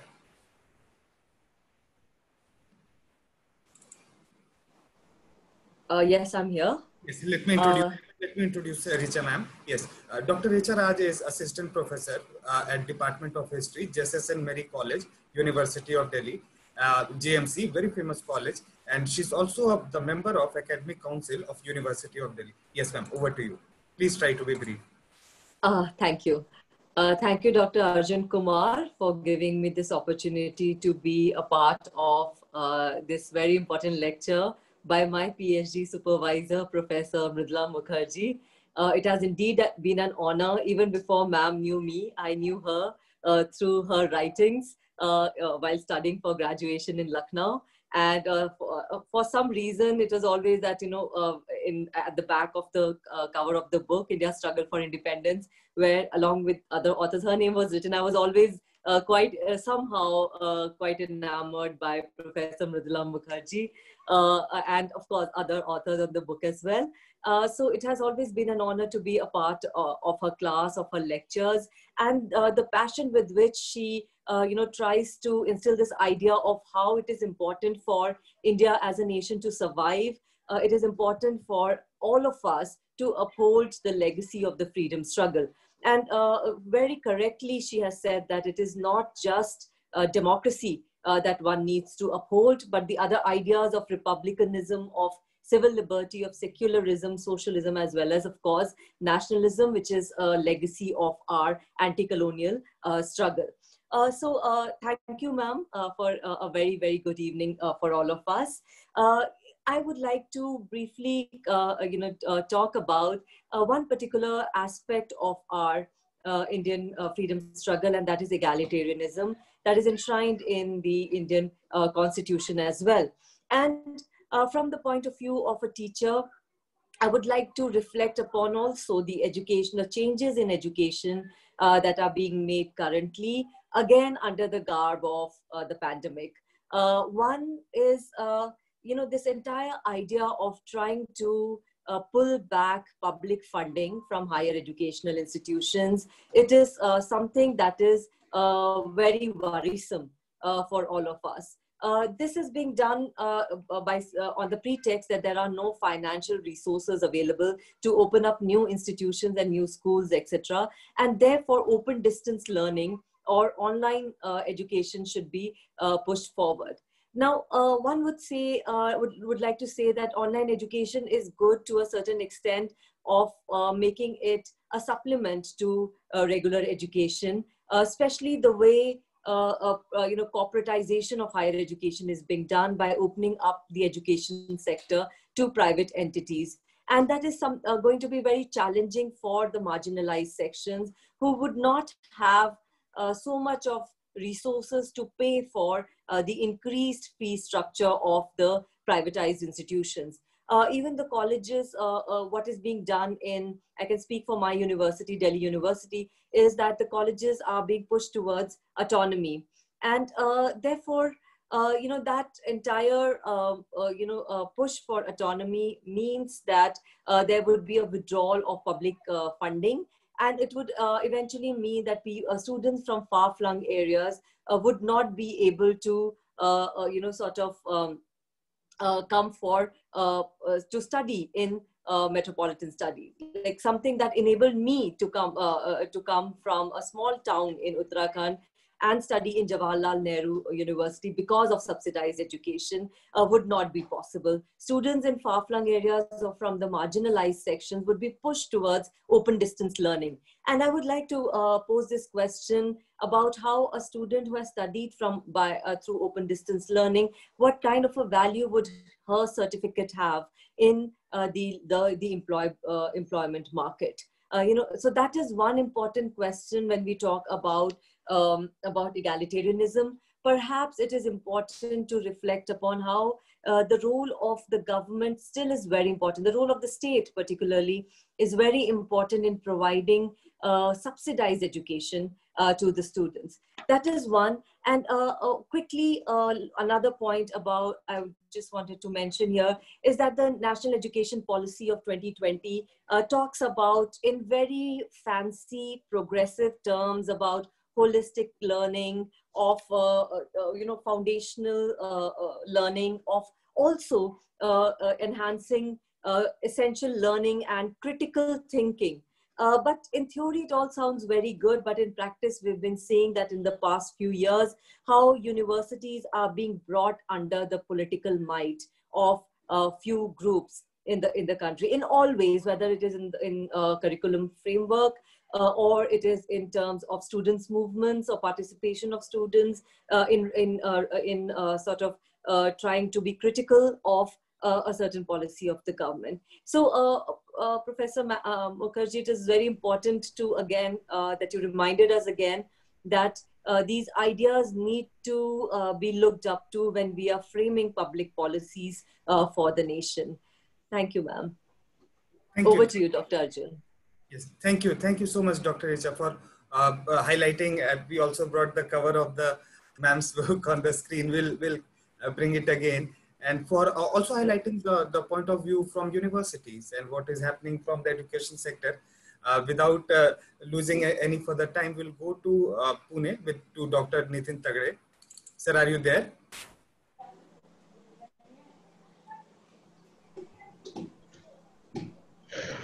Dr. Nitin Tagade? Yes, yes. Let me introduce you. Yes. Uh, Dr. Nitin Tagade is an assistant professor at Department of Economics at Savitri Bai Phule Pune University, Pune. Sir, over to you. Uh, thank you, Arjun, for uh, giving me this opportunity. Uh, and this was actually an excellent talk uh, by Professor Mridula Mukherjee. And I think it is important uh, during this pandemic, which has started not uh, uh, due to the coronavirus, but it has actually started uh, with the uh, demonetization. I say this, this pandemic has started with the demonetization because if you see the economic growth has started falling from the demonetization in December 2016, I think. And uh, with the corona pandemic, it has again uh, became a very strongly falling. Now, looking at the uh, nation building uh, from the uh, historical point of view, we will see that uh, there are different perspectives. and Congress has uh, comprises of all the kinds of perspectives. But there were another perspective strongly coming from the uh, uh, egalitarian point of view, where the annihilation of caste became the more, more important from the Maharashtrian point of view. Uh, if you look at uh, what uh, Dr. Mukherjee has said about the economic reform is the has the human face. And the connection goes back to the what dr ambedkar has pointed out in the uh, constitution assembly on 25th november 1949 where he argued that we have achieved the political democracy but it the success depends not on the political democracy but depends on the social and economic democracy. And this social and economic democracy has the connection with the human face of the economic reforms. Basically, uh, uh, before the 1991, if you look at uh, most of the uh, uh, most of the sectors were under the control of uh, the government, and somehow government has maintained that human face. But after the 1991, we, we globalized ourselves as an economy. And uh, to, re to retain that human face, uh, I would uh, uh indicate two programs. One was already indicated by uh, the panelist and um, uh, Dr. Mukherjee, that was Manrega. And Second was food security bill. And with these two major programs, you will see that there was a major transformation in the rural, uh, rural areas. There was uh, the people uh, got the uh, opportunity to think, to plan their uh, goals. Otherwise, it was really difficult for them to achieve their goals. And with that, uh, uh, I think uh, our uh, what uh, Dr. Uh, Mrudula Mukherjee has suggested all the objectives down, laid in the freedom freedom fight before the independence was laid down in the constitution's constitution with the with the diverse perspective being being the members from different background uh, I think uh, uh, we, we need to be more inclusive. And for that purpose, we, we need to have our not only the political democracy, but also the social and economic democracy. We need to think and plan according to that so that the uh, major goal should be annihilation of caste, annihilation of the uh, inequities. If you see that the uh, inequality existed based on the so social background, it is a huge, about 70% of the inequality is existed in terms of the asset ownership. About, uh, there are 20% of the uh, population is there of scheduled caste, but they own only 7.5% of the total assets. On the other hand, others which which are not scheduled caste, not uh, not uh, uh scheduled tribes, not OBCs.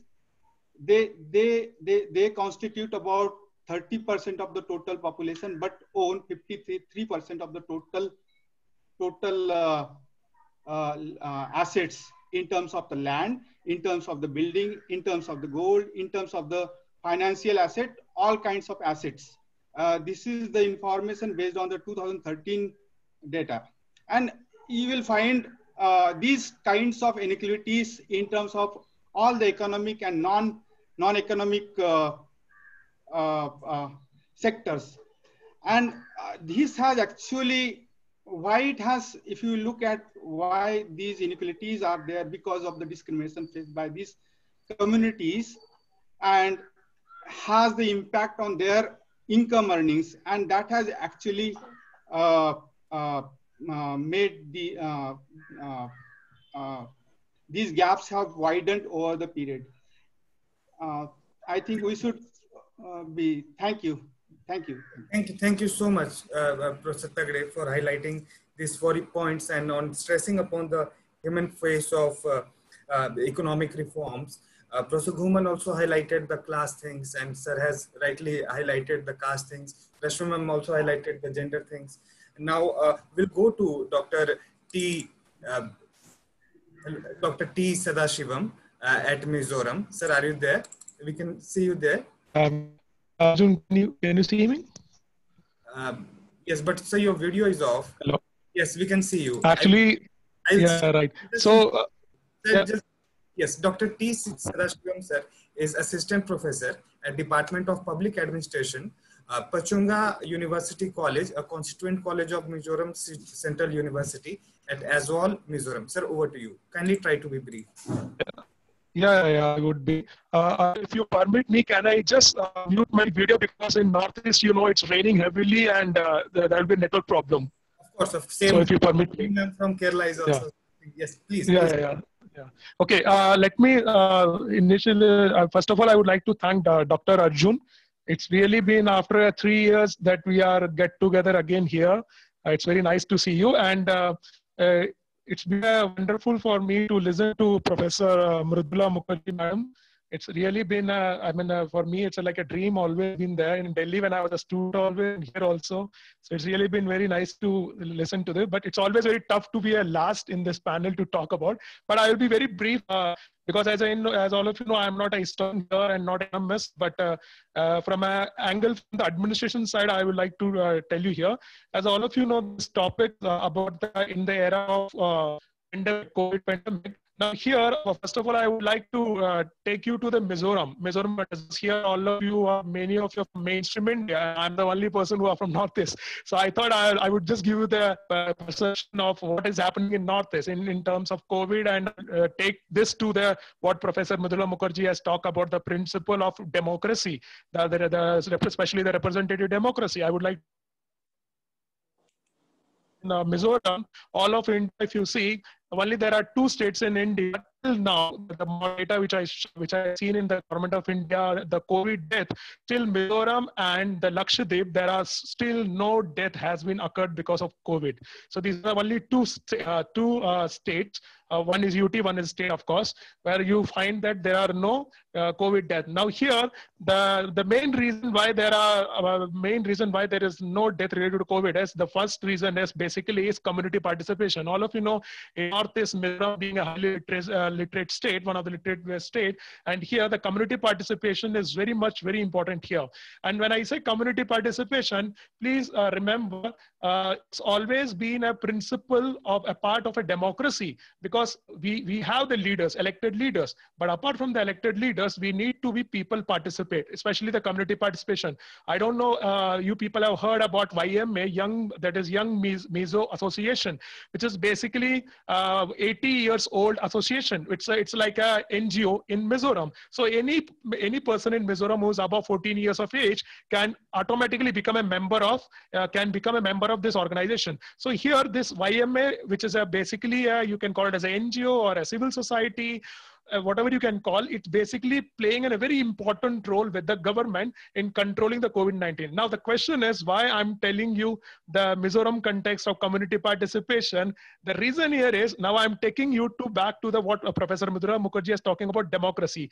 Now, all of you know when we say democracy in India, basically we have a federal system. So and we have the central government, state government, and we have the local government. As already one of the panelists before me, uh, I think uh, Dr. Rashmi, madam, has already talked about the third layer of government. So my focus here will basically on the third layer of governance, which is basically called Panchayati Raj system. Now here, as all of you know, uh, when we are talking about uh, Panchayati Raj institution, in, uh, in our draft in the in the constitution draft there is no mention of the term panchayat raj so because of a lot of pressure from the indian side you will see that somehow you find the panchayati raj has been got included in the direct principles of state policy under article 40 so the question is do we really have raj in panchayati although we have brought panchayati raj Constitutional Amendment Act 73rd in 1990, but really Panchayati has become Raj? That is a question mark for me. That is my personal opinion. That is a question mark for me. Now here, of course, during COVID pandemic, you all of you know, in the media, we have seen that how the state of uh, Kerala, where the Panchayati Raj institution has played a very important role in controlling the COVID, uh, actually in the terms of menace of the COVID-19, especially in Odisha, you might have heard that the Odisha government has basically delegated the power of the village, uh, the, what you call the district collector to the Panchayati Raj uh, there. So now here, the, the thing which I want to tell you is that uh, does this Panchayat Raj, it's now almost 27 years of constitution mandate. Now, all of you see uh, when you're talking about governance, so inclusive governance, as the present government is also talking about inclusive governance. Now, village democracy is very much important for inclusive governance. But do we really have inclusive governance in terms of the Constitutional Amendment Act of 73rd? I'm afraid that is not the case. Now here I'll just go because here we have to revisit what the 73rd Constitutional Amendment Act talks about. It talks about establishing the local government institutions in India. But if, if you see the last four, three examples, I can just give you some examples. For example, you see Kashmir. What happened in Kashmir? The panchayat election there, the urban, the municipality election there. Hardly we see there have been uncontested seats there hardly we see any people or the leader, the I mean the candidates have been standing for the election. So does this means a representative? Does this means a true democracy or a village democracy? Not at all. If I take to the example, you go to the example of uh, Bengal. Bengal in the last panchayat election, you see number of the seats have been uncontested. So there have been violence. There have been so many goons have been in election. Similarly, the local uh, government election. Similarly, the part of India, especially in Haryana and Rajasthan, the, the biggest is, is really it's very sad for me that we, we say village India is the third largest uh, in terms of large. We have largest democracy and the third level of government that is uh, the Panchayat Raj institution we have and it is functioning very well. Every leader, political leader is praising that including I think you have seen that in the month of April, our Prime Minister, when he was addressing on, uh, on the National Panchayati Raj Day, he was praising the, all the sarpanchs that they are playing a very important role in COVID-19. But the question here is, does really the panchayats are playing important role? Except some states like Kerala and Odisha. And here that the big challenge, even after 27 years of constitutional mandate, you see the big Panchayati Raj in India still in terms of the finance, in terms of the functionaries, in terms of the function. Of course, the Constitutional Amendment gives 20 functional items to the Panchayati Raj. But do they really have the finance, that is the resources? Do they have the manpower, that is functionary? Still is a question mark.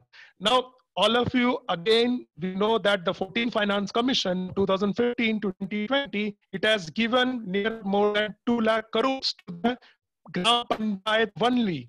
And it has been so much that a Gram Panchayat is getting near about uh, 85 lakh for entire year. But but again, the question is, does giving money to really makes them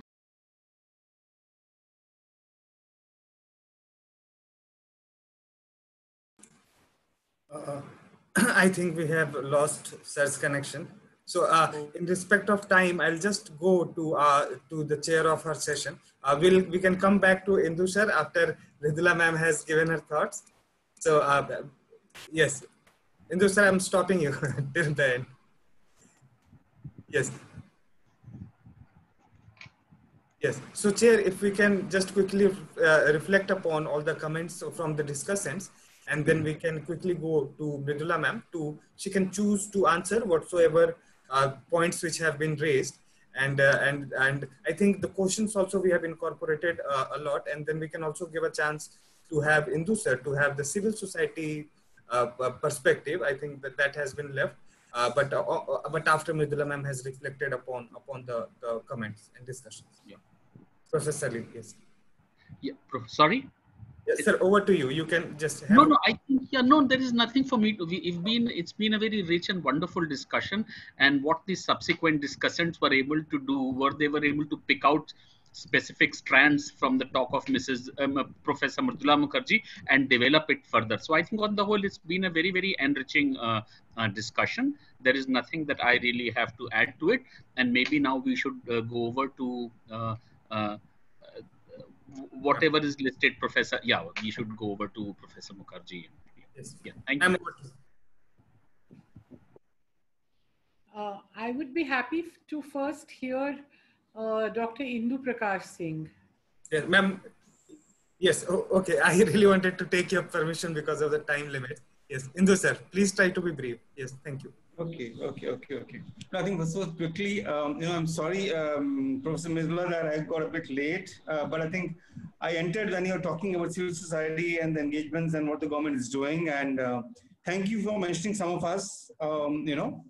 Um, and uh, I must say, um, from what I've had, that is, I think what I've heard from the discussion that really ensued after your uh, presentation, I must say, of course, it's uh, IMPRI's um, you know, uh, webinars have always been of high caliber, have been great in inputs and all that. And I, I would say that even uh, this discussion that we're having is very important. Uh, you know, and uh, in fact, uh, taking from where um, you actually left, you know, like, you know, like when you're talking about India's struggle for independence, and you know, from a nationalism that we had and all the stuff that came in the constitution, you rightly mentioned that we somewhere have veered into sectarianism.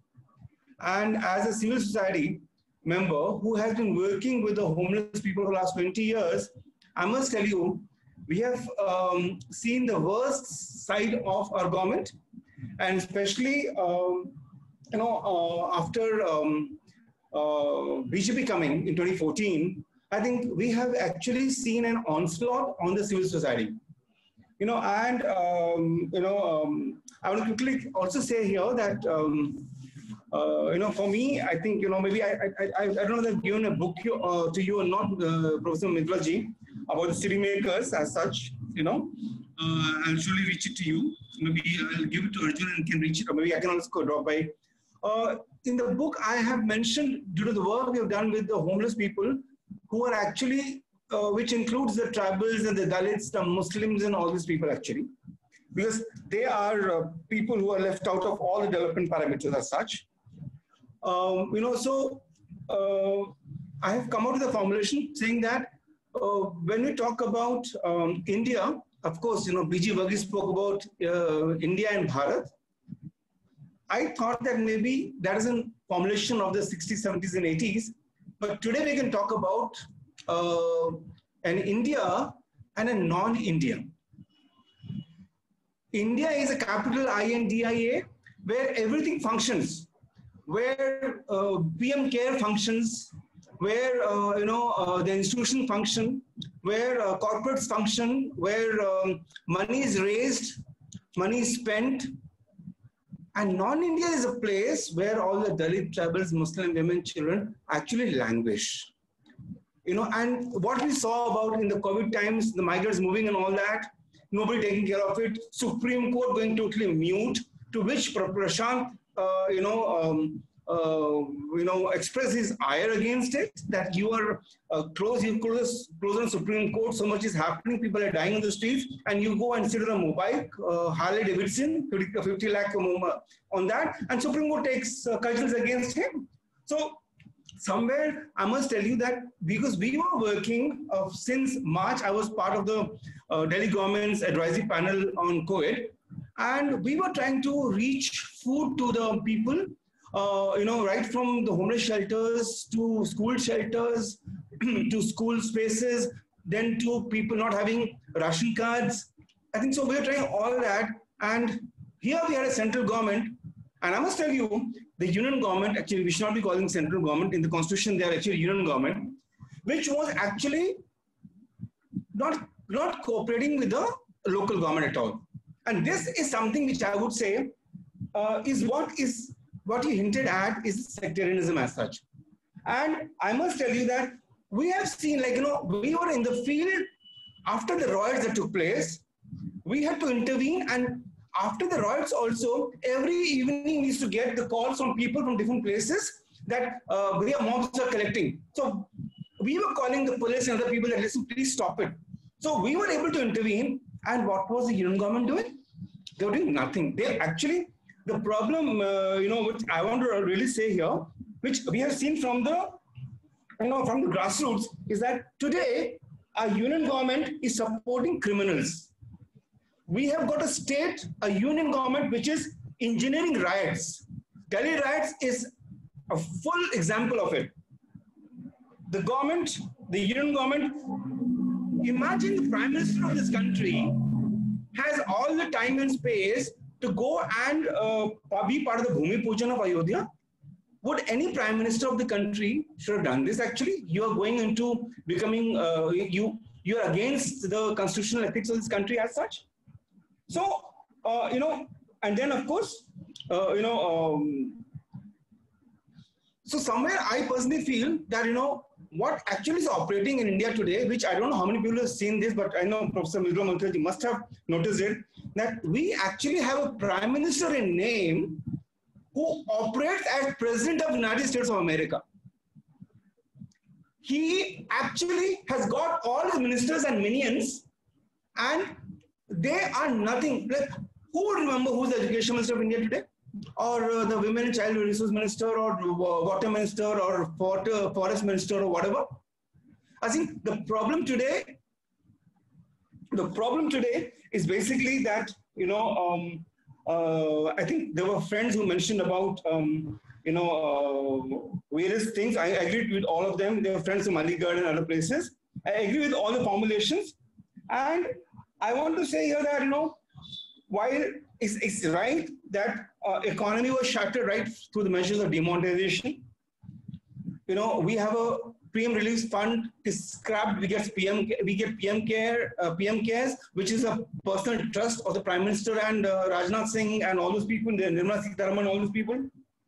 Um, then you spoke about, you know, what was the what was the real motive of having a CAA and NRC? You, if you are a government, people have voted for you. First of all, I also have this thing, whether they were voted or whether it was the election commission which actually, you know, allowed them through the um, EVMs as such, you know. So that's also, you know, because uh, you know, they never expected this majority at all. Kanhaiya Kumar uh, losing you know, it's it's uh, it's it's not done. It's not given. You know, nobody can believe it. So so somewhere, I think that you know this government knows that they are here by default. They are not actually elected by the people, but they are elected by the EVMs.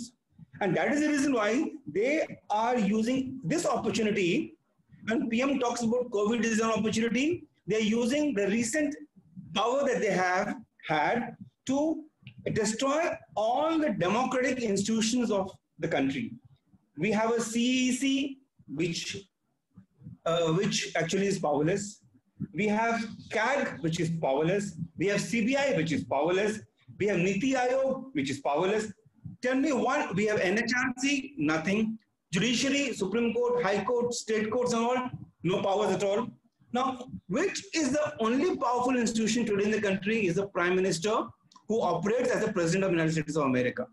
So for many of us, you know, uh, yes, what has really happened is also that uh, India has become, uh, you know, I think what this Prime Minister has done is he has done the corporatization of India.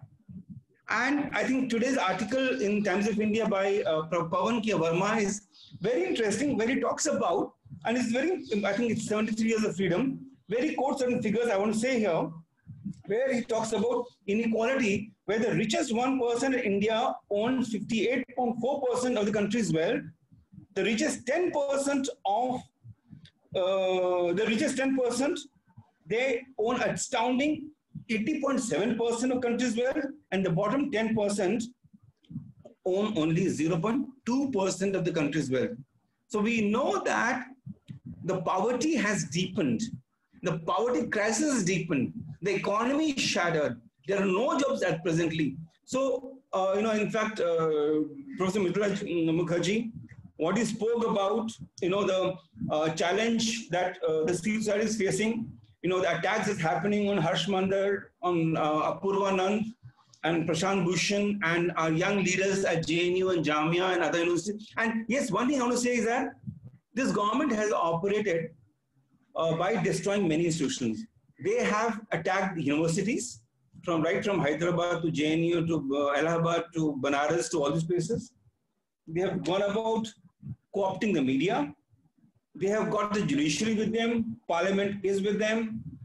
State governments, UTs, you know what power they have. They, the, the problem today is, you know, I think uh, whether they lose the election or they win the election, they will make the government like we are seeing today in what happened in Rajasthan, they trying to break the government, but somehow they couldn't break it. Thankfully, but uh, pilot and all they got together.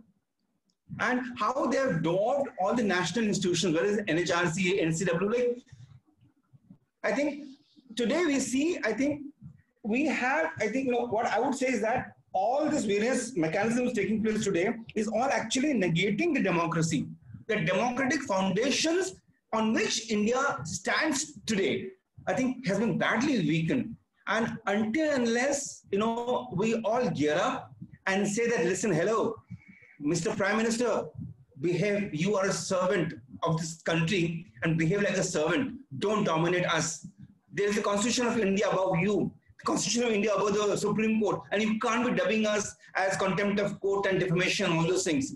Uh, Satyamev Jayate we talk about every court says Satyam Jayate, and you talk about in uh, when you uh, speak the truth, then you um, uh, it's a contempt. What are you talking about?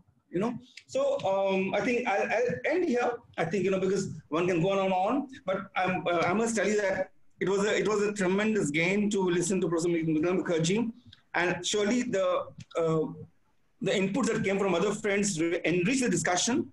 And uh, it's because of these discussions that happened that I could really add to few things. And uh, you know, I'm blessed to be part of this uh, session. I heard it, and thank you, Arjun, for pulling me into it. Yeah, I was here only as a you know as a witness to it. You know, I didn't want to say anything. But thank you nonetheless. Uh. Zindabad. Thank you. Thank you, sir. Satyamev Jayate.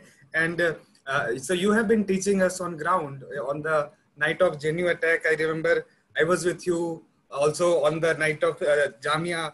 So all the places, it's always so pleasure to have you all around at, at all the important events and uh, fighting for uh, uh, democracy. Few points I just have to add, and then we can go to ma'am.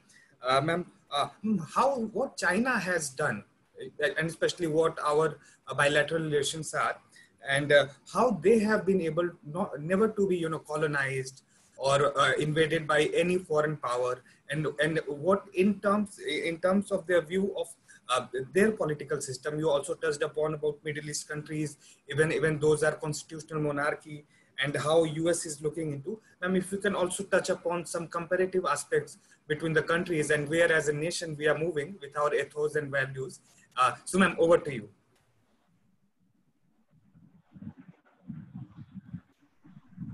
Well, I think Arjun, I've done more than my share for this evening. And if you are going to ask me to now talk about comparing China and India and the US, it's going to be, you know, it's going to be midnight before we break up. Uh, so I think we should leave that for another occasion because it's a whole different story. Yeah. You know, it, you have to go into Chinese history, you have to go into the colonial period, you have to go into, you know, what's happened after their independence. It's a very long story.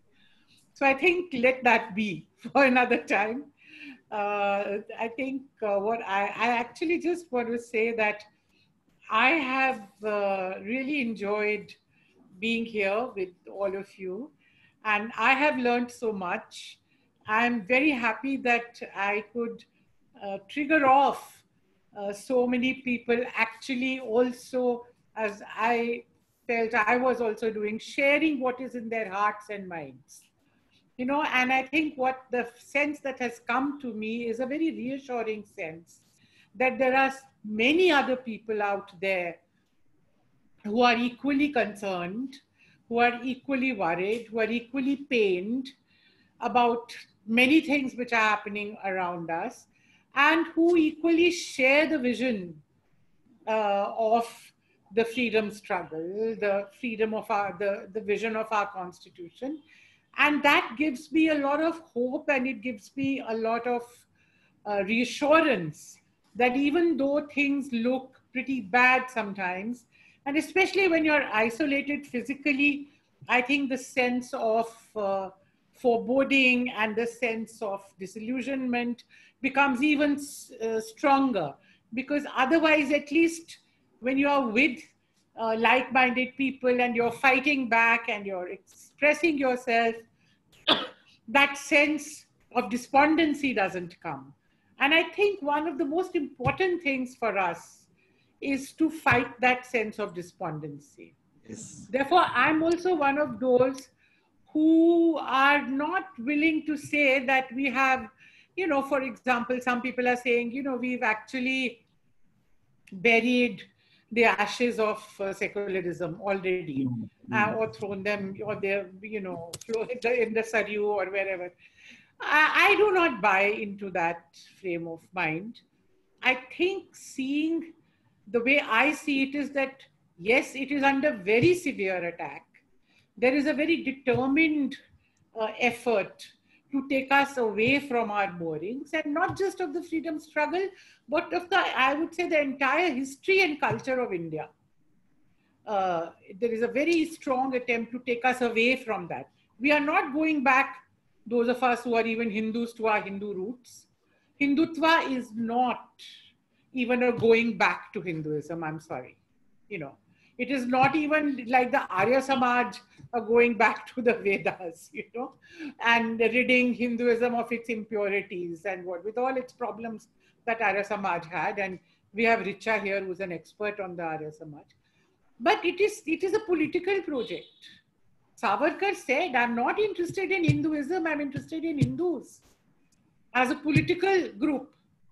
So this is a political project which only uses religion Okay, I think it's very important to realize that.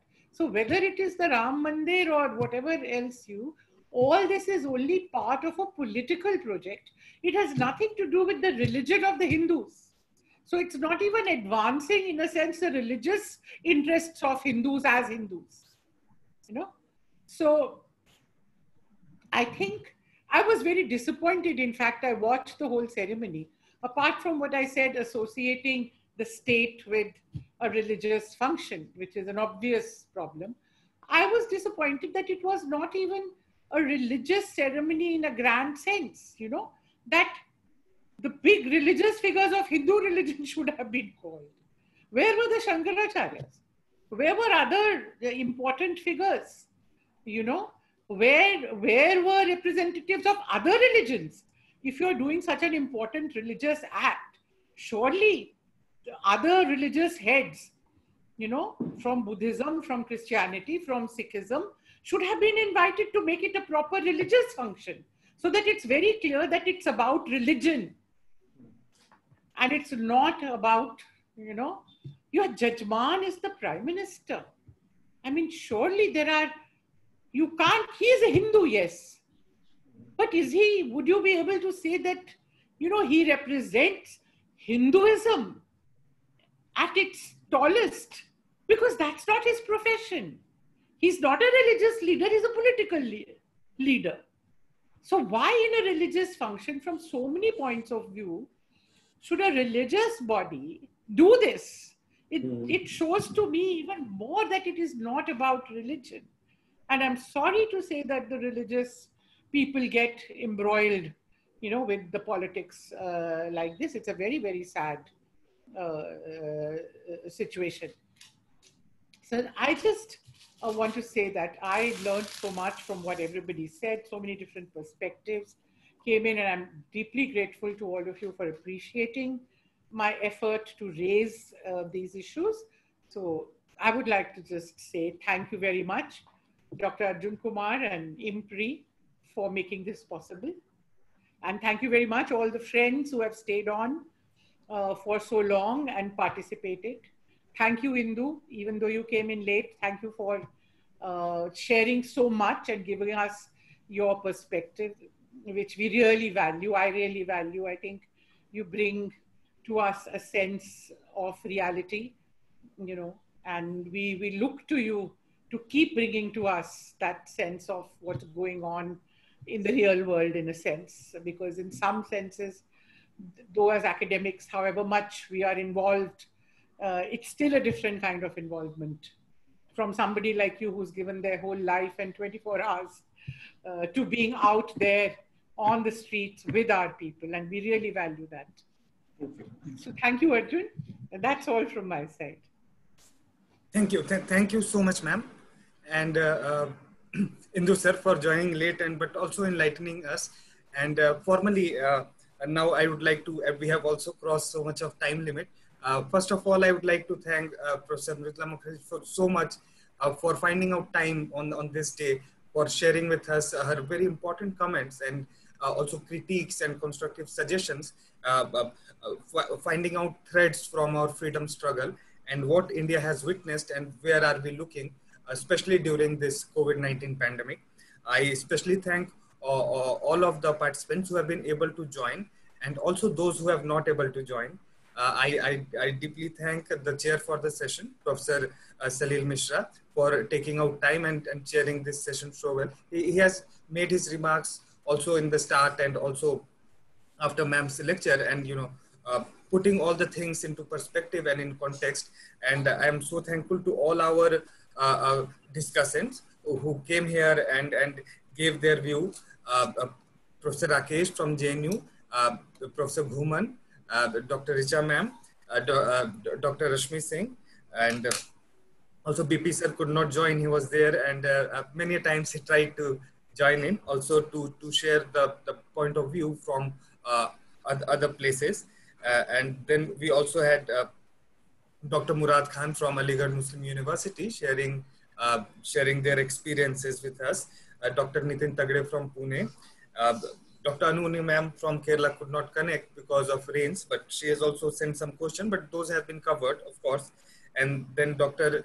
Uh, uh, TC from Mizoram also uh, for bringing out point. And finally, Dr. Indu Prakash Singh sir. And I thank you, all of you, all the participants and the IMPRI team, IMPRI IT team, Dr. Simi Mehta, Bharat Singh sir, our all our research team, and Anshula Ritika, and IT and other, other team members. And we wish you a good evening and happy Independence Day. Thank you for joining. Thank you, Professor Mridula Mukherjee, once again. And we look forward to listening more to you, reading more to you again and again, and guided by your light. Uh, thank you. Thank you. Thank you. Yes. Have good a nice. Good one.